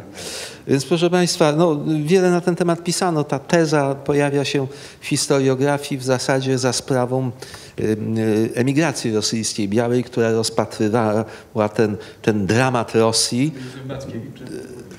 No tak, to prawda. I tam padło to oskarżenie, że Polacy sprowadzili to największe nieszczęście na Rosję, nie podając ręki Denikinowi. Inaczej by się potoczyła historia Rosji, świata, ile ludzi by ocalało, gdyby nie ci Polacy, którzy zatrzymali się i nie udzielili pomocy Denikinowi. Oczywiście y, dyskutujemy o czymś, co się nie zdarzyło, więc zawsze będzie jakaś wątpliwość, że nie do końca y, trafnie przewidujemy. Ale biorąc pod uwagę mm, to, co zresztą profesor Nowak y, y, napisał w swojej y, nie, ostatniej książce, mm, biorąc pod uwagę potencjał bolszewików w tym ogromnym państwie i to, co, czym, co reprezentowała sobą Biała Armia, to raczej należałoby sądzić, że byłoby to raczej przedłużenie agonii tej białej armii, a nie, nie, nie skutkowałoby to wspólnym marszem pod Kremlem, prawda, oddziałów polskich i białogwardyjskich. A gdyby nawet, a gdyby nawet do tego doszło, to z fatalnymi dla Polski skutkami, bo biali generałowie do samego końca prawie do samego końca, nie widzieli Polski innej niż tylko królestwo z Galicją połączone z Rosją ścisłym, bliskim sojuszem, czyli w rosyjskiej strefie wpływów. Żadnych Kresów Wschodnich, żadnego Lwowa, to wszystko było rosyjskie. Jak z Chełmszczyzną, nie wiadomo. No z Chełmszczyzną, no ale to może łaskawie by nam oddali. Natomiast Białostoczyznę to już nie jestem, nie jestem pewien. No i druga sprawa, jeszcze tutaj mm, podnieśliśmy y, Ukraina, tak. Y, Proszę Państwa, no to już w XIX roku y, Józef Piłsudski, czy w końcu roku XIX, rozpatrywał taką możliwość przecież ukraińskich żołnierzy, tych, którzy będą na początku roku 20 przechodzić polską nie granicę, ale linię frontu, traktujemy nie jako wrogów. Ich internujemy. Wrogu się nie internuje, sadza się do obozów jenieckich. I jest to y, jeszcze, ta, nie ma tej jasnej perspektywy, co dalej, ale jest możliwość wykorzystania karty ukraińskiej, o tym się mówi. Są przeciwnicy tego, zajadli.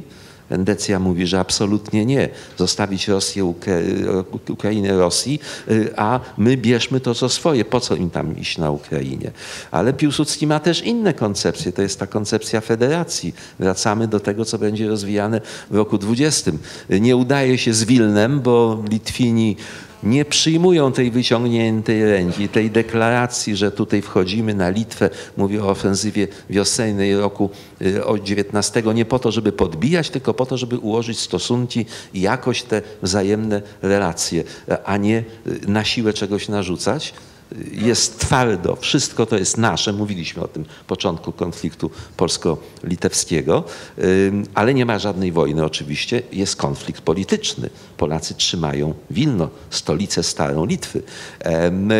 A na południu y, te możliwości ewentualnego wykorzystania Ukrainy do walki z Rosją, o których Piłsudski to już pan profesor mówił. Mówił ta niepotrzebna, bezsensowna wojna. Przecież był gotów oddać połowę tej Galicji wschodniej pod warunkiem Lwów i Zagłębie Naftowe dla Polski. Resztę sobie bierzcie. Byle był polsko-ukraiński wspólny front z, bol, przeciwko bolszewicki. I ostatnie zdanie. Na Ukrainie wschodniej, tej kijowskiej, nieco inaczej postrzegano tą sprawę. I to rodziło nadzieję. To nie to znaczy, że oni tam byli przyjaźni dla nas, że od razu chcieli się bratać. Nie, ale doceniali i Petlura i ze swoim otoczeniem to też podnosili, że prawdziwe niebezpieczeństwo to jest ta bolszewicka Rosja. Spróbujmy się z Polakami dogadać. To rodziło nadzieję, że uda się z Petlurą i takimi jak on coś wspólnego stworzyć. Jak rozumiem, syntetycznie i polemicznie w kolejności profesor Rezmer, profesor Olejnik i profesor Nowik. Panie Przewodniczący, Szanowni Państwo, to nie ja jestem taki mądry, tylko Clausewitz na początku XX, XIX wieku no, sformułował i, i przedstawił relacje między wojną a polityką. I dzisiaj nie mam mniejszej wątpliwości, że wojny nie prowadzi się, że mówiąc kolokwialnie, się naparzać i się zabijać, tylko się prowadzi po to, żeby zrealizować większe lub mniejsze, ale konkretne cele polityczne. I odpowiadając teraz na pytanie, mamy drugą połowę XIX roku. Jaka jest sytuacja geopolityczna? Otóż na wschodzie mamy toczącą się wojnę domową w Rosji, białych i czerwonych, i Polskę, która chce nie tylko utrzymać niepodległość, ale wywalczyć takie granice, które jej zapewnią byt. I to na, jak wtedy e, Józef Piłsudski myślał, na wiele, wiele bezpieczeństwo i byt. I z Warszawy. I co można było zaobserwować? To, co panowie powiedzieli.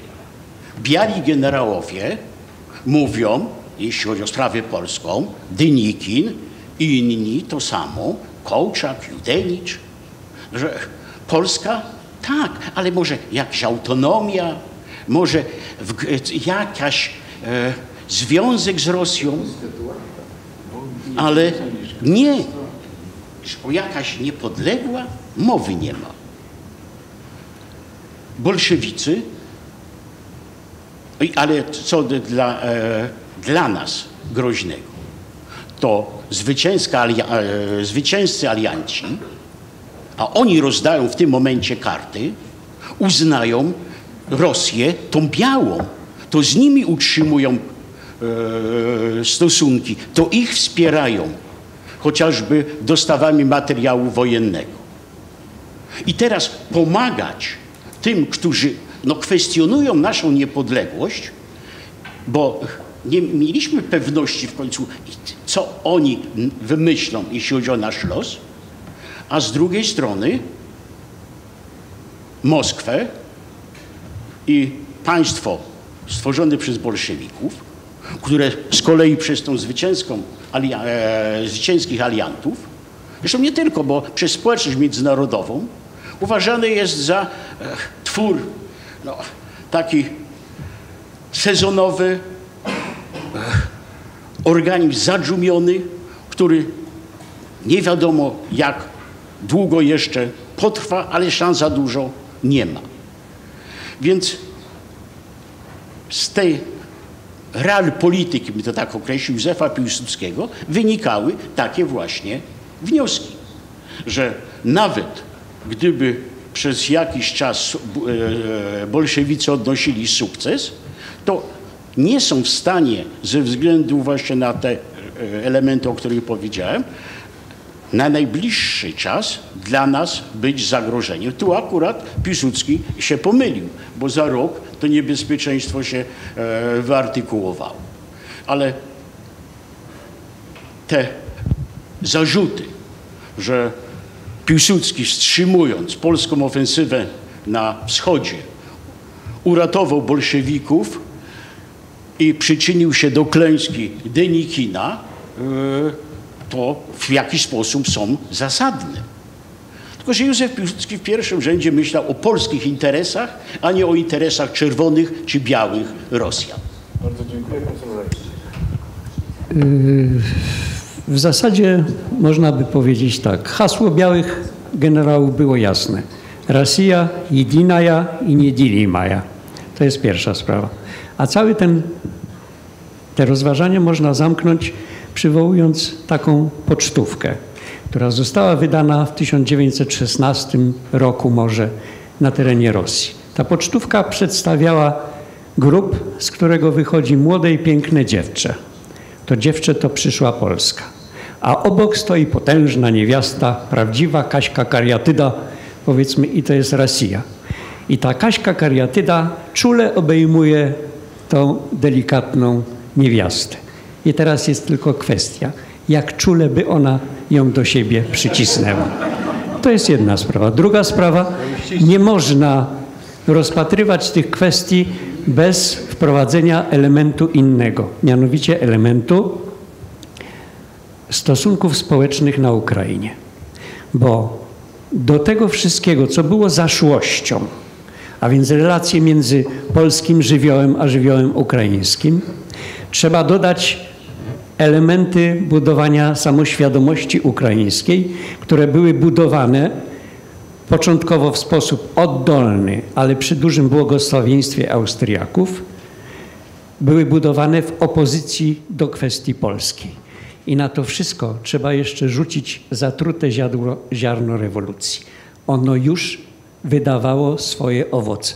A ziarno rewolucji po- polegało na tym, że się mówiło, przyjdą polscy panowie i wezmą was za twarz, tak jak to od wieków się działo. I bez tych elementów, bez uwzględnienia stosunków społecznych, nie jesteśmy w stanie zrozumieć tego wszystkiego. Ale to jest już oczywiście materiał na inną dyskusję. I jeszcze jedna sprawa. To, co proponował Piłsudski, a więc federację w odniesieniu do Ukraińców, to było tak na moje oko, a chyba zgodzicie się panowie ze mną, 70-80 lat za wcześnie. Może stop. bardzo. Bardzo dziękuję i teraz jeszcze finalny głos pana profesora Nowika.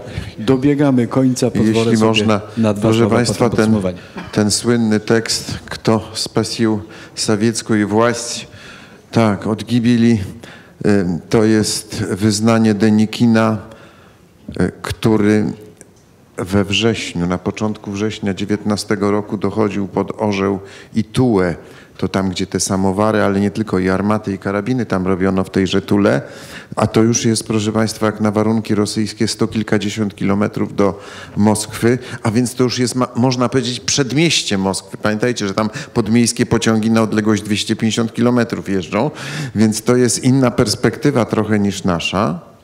I wtedy właśnie Józef Piłsudski wstrzymał działania właśnie we wrześniu przeciwko rosyjskiej 12 armii, dzięki czemu ona mogła się e, przegrupować z frontu zachodniego na wschód i te wojska Denikina pobić.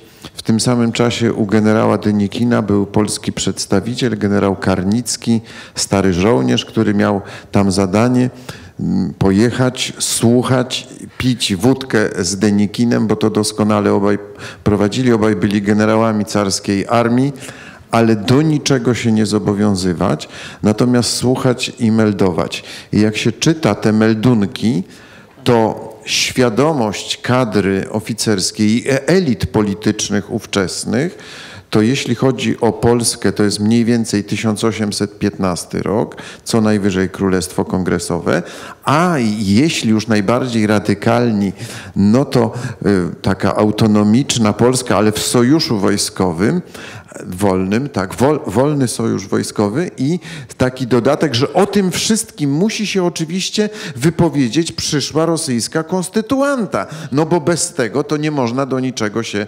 zobowiązać. Więc rozmawiać z Denikinem, proszę Państwa, Józef Piłsudski wiedział, kogo tam wysłać, prawda?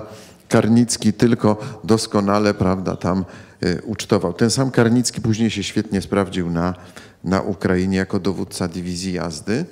Natomiast jeśli chodzi o Ukrainę, to te kontakty y, troszkę wcześniej niż na końcu XIX roku są, bo my mamy przecież maj, układ Kudrynowski-Paderewski 24 maja podpisany XIX roku, kiedy my zrzekamy się połowy Galicji i granica, zgodnie ze starym powiedzeniem, pomniej lasze postyrwasze, prawda? Granica miała być na Styrze, a więc mniej więcej na linii no, Kowel-Łuck, mniej więcej to miało należeć do Rzeczypospolitej, dalej do Ukrainy. Przy czym Ukraińcy mieli odwieczny problem. Kto będzie ich głównym przeciwnikiem? Czy to będzie Rosja, czy to będzie, czy to będzie Polska? I no, wśród polityków ukraińskich Petlura był zdania, że Rosja w ogóle nie dostrzega istnienia Ukrainy. To są tylko Małorosjanie po prostu. To są mało, Małorosjanie, to jest szczep, to jest gałąź jednego wielkiego, wielkoruskiego narodu, dlatego ich nazywano Małorosjanami. I po prostu nie ma miejsca, w Rosji nie ma miejsca na Ukrainę. Uważał, że Polska, będąc tak samo zagrożona przez Rosję, mówię słowami Petlury, musi osiągnąć jakieś modus vivendi między Polską Ukrainą i razem przeciwstawić się Rosji. W Polsce dokładnie takie same stanowisko czy podobne reprezentował Józef Piłsudski. Natomiast Roman Dmowski uważał, że nie istnieją Ukraińcy, paktować z Ukrainą można wyłącznie, o Ukrainie wyłącznie z Moskwą i można powiedzieć, że no zgadzam się, nie wiem czy 80 czy 100 lat za wcześnie po prostu jeszcze świadomość i myśl polityczna ukraińska musiała zostać całkowicie zreorientowana. Ona wtedy dopiero się kształtowała, elity polityczne się kształtowały y, ukraińskie. Natomiast jest taki piękny epizod, może Proszę Państwa, jak to Józef Piłsudski po zdezawuowaniu przez Ukraińców tego układu Kudrynowski-Paderewski e, wysyła w lipcu 1919 roku Jana Mazurkiewicza, to jest późniejszy dowódca grupy Radosław w Powstaniu Warszawskim, wysyła go do Czarnego Ostrowu z listem swoim osobistym do Petlury. Pierwszy pisze Piłsudski do Petlury, i ten Zagłoba przedziera się przez Ukrainę pod pseudonimem Zagłoba. Bardzo dziękuję. Jeszcze bardzo króciutko, syntetycznie pan profesor Polak i zmierzamy już rzeczywiście do finału. Ja tylko dygresję, właśnie blisko anegdoty. Proszę Państwa, po zakończeniu II wojny światowej Londyn stał się miejscem, gdzie zgrupowało się kilkanaście rządów emigracyjnych. Także, także cały konglomerat ukraiński. I proszę Państwa, ten spór, który przed chwilą koledzy podnosili, on był dokładnie żywcem przeniesiony w te realia. Końcówka jaka? W ostatecznym rachunku ustalimy szczegóły z rządem rosyjskim na uchodźstwie. Dziękuję. Bardzo dziękuję. Proszę Państwa, sami Państwo mogą dzisiaj powiedzieć, że przy no, najrozmaitszych historiograficznych e, zakrętach nie powiem, że byliśmy całkowicie zbieżni, ale generalne kwestie dotyczące tego, jak trudny, jak kluczowy to był rok, zapewne dzisiaj wybrzmiały, choć niektóre kwestie rzeczywiście tylko no, bardzo sygnalnie poruszaliśmy. To sprawa pierwsza. Sprawa druga również jest taka, na co myślę warto na samym końcu zwrócić uwagę, że jeżeli przyjrzymy się temu, w jaki sposób był traktowany w dwudziestoleciu międzywojennym polski żołnierz, jaką miał wysoką rangę, to wszystko to mieści się właśnie w tym czasie wojny o niepodległość, wojny o granicę. To jest, mówił mi to dzisiaj pan profesor Nowik, żeby to podnieść, jest to taki swoisty mit założycielski II Rzeczpospolitej, który był bardzo ważny i który od, odgrywał też niezwykle istotną, integracyjną e, rolę. No i to, że istotnie historia jest swoistą nauczycielką życia w odniesieniu do tego, co 70-100 lat wcześniej nie było możliwe, co ma przełożenie na dzisiejszy, myślę, że wybrzmi również w tej debacie następnej, którą poświęcimy już rokowi, decydującemu rokowi 1920. Bardzo dziękuję panelistom, bardzo dziękuję Państwu za uwagę. Dziękuję.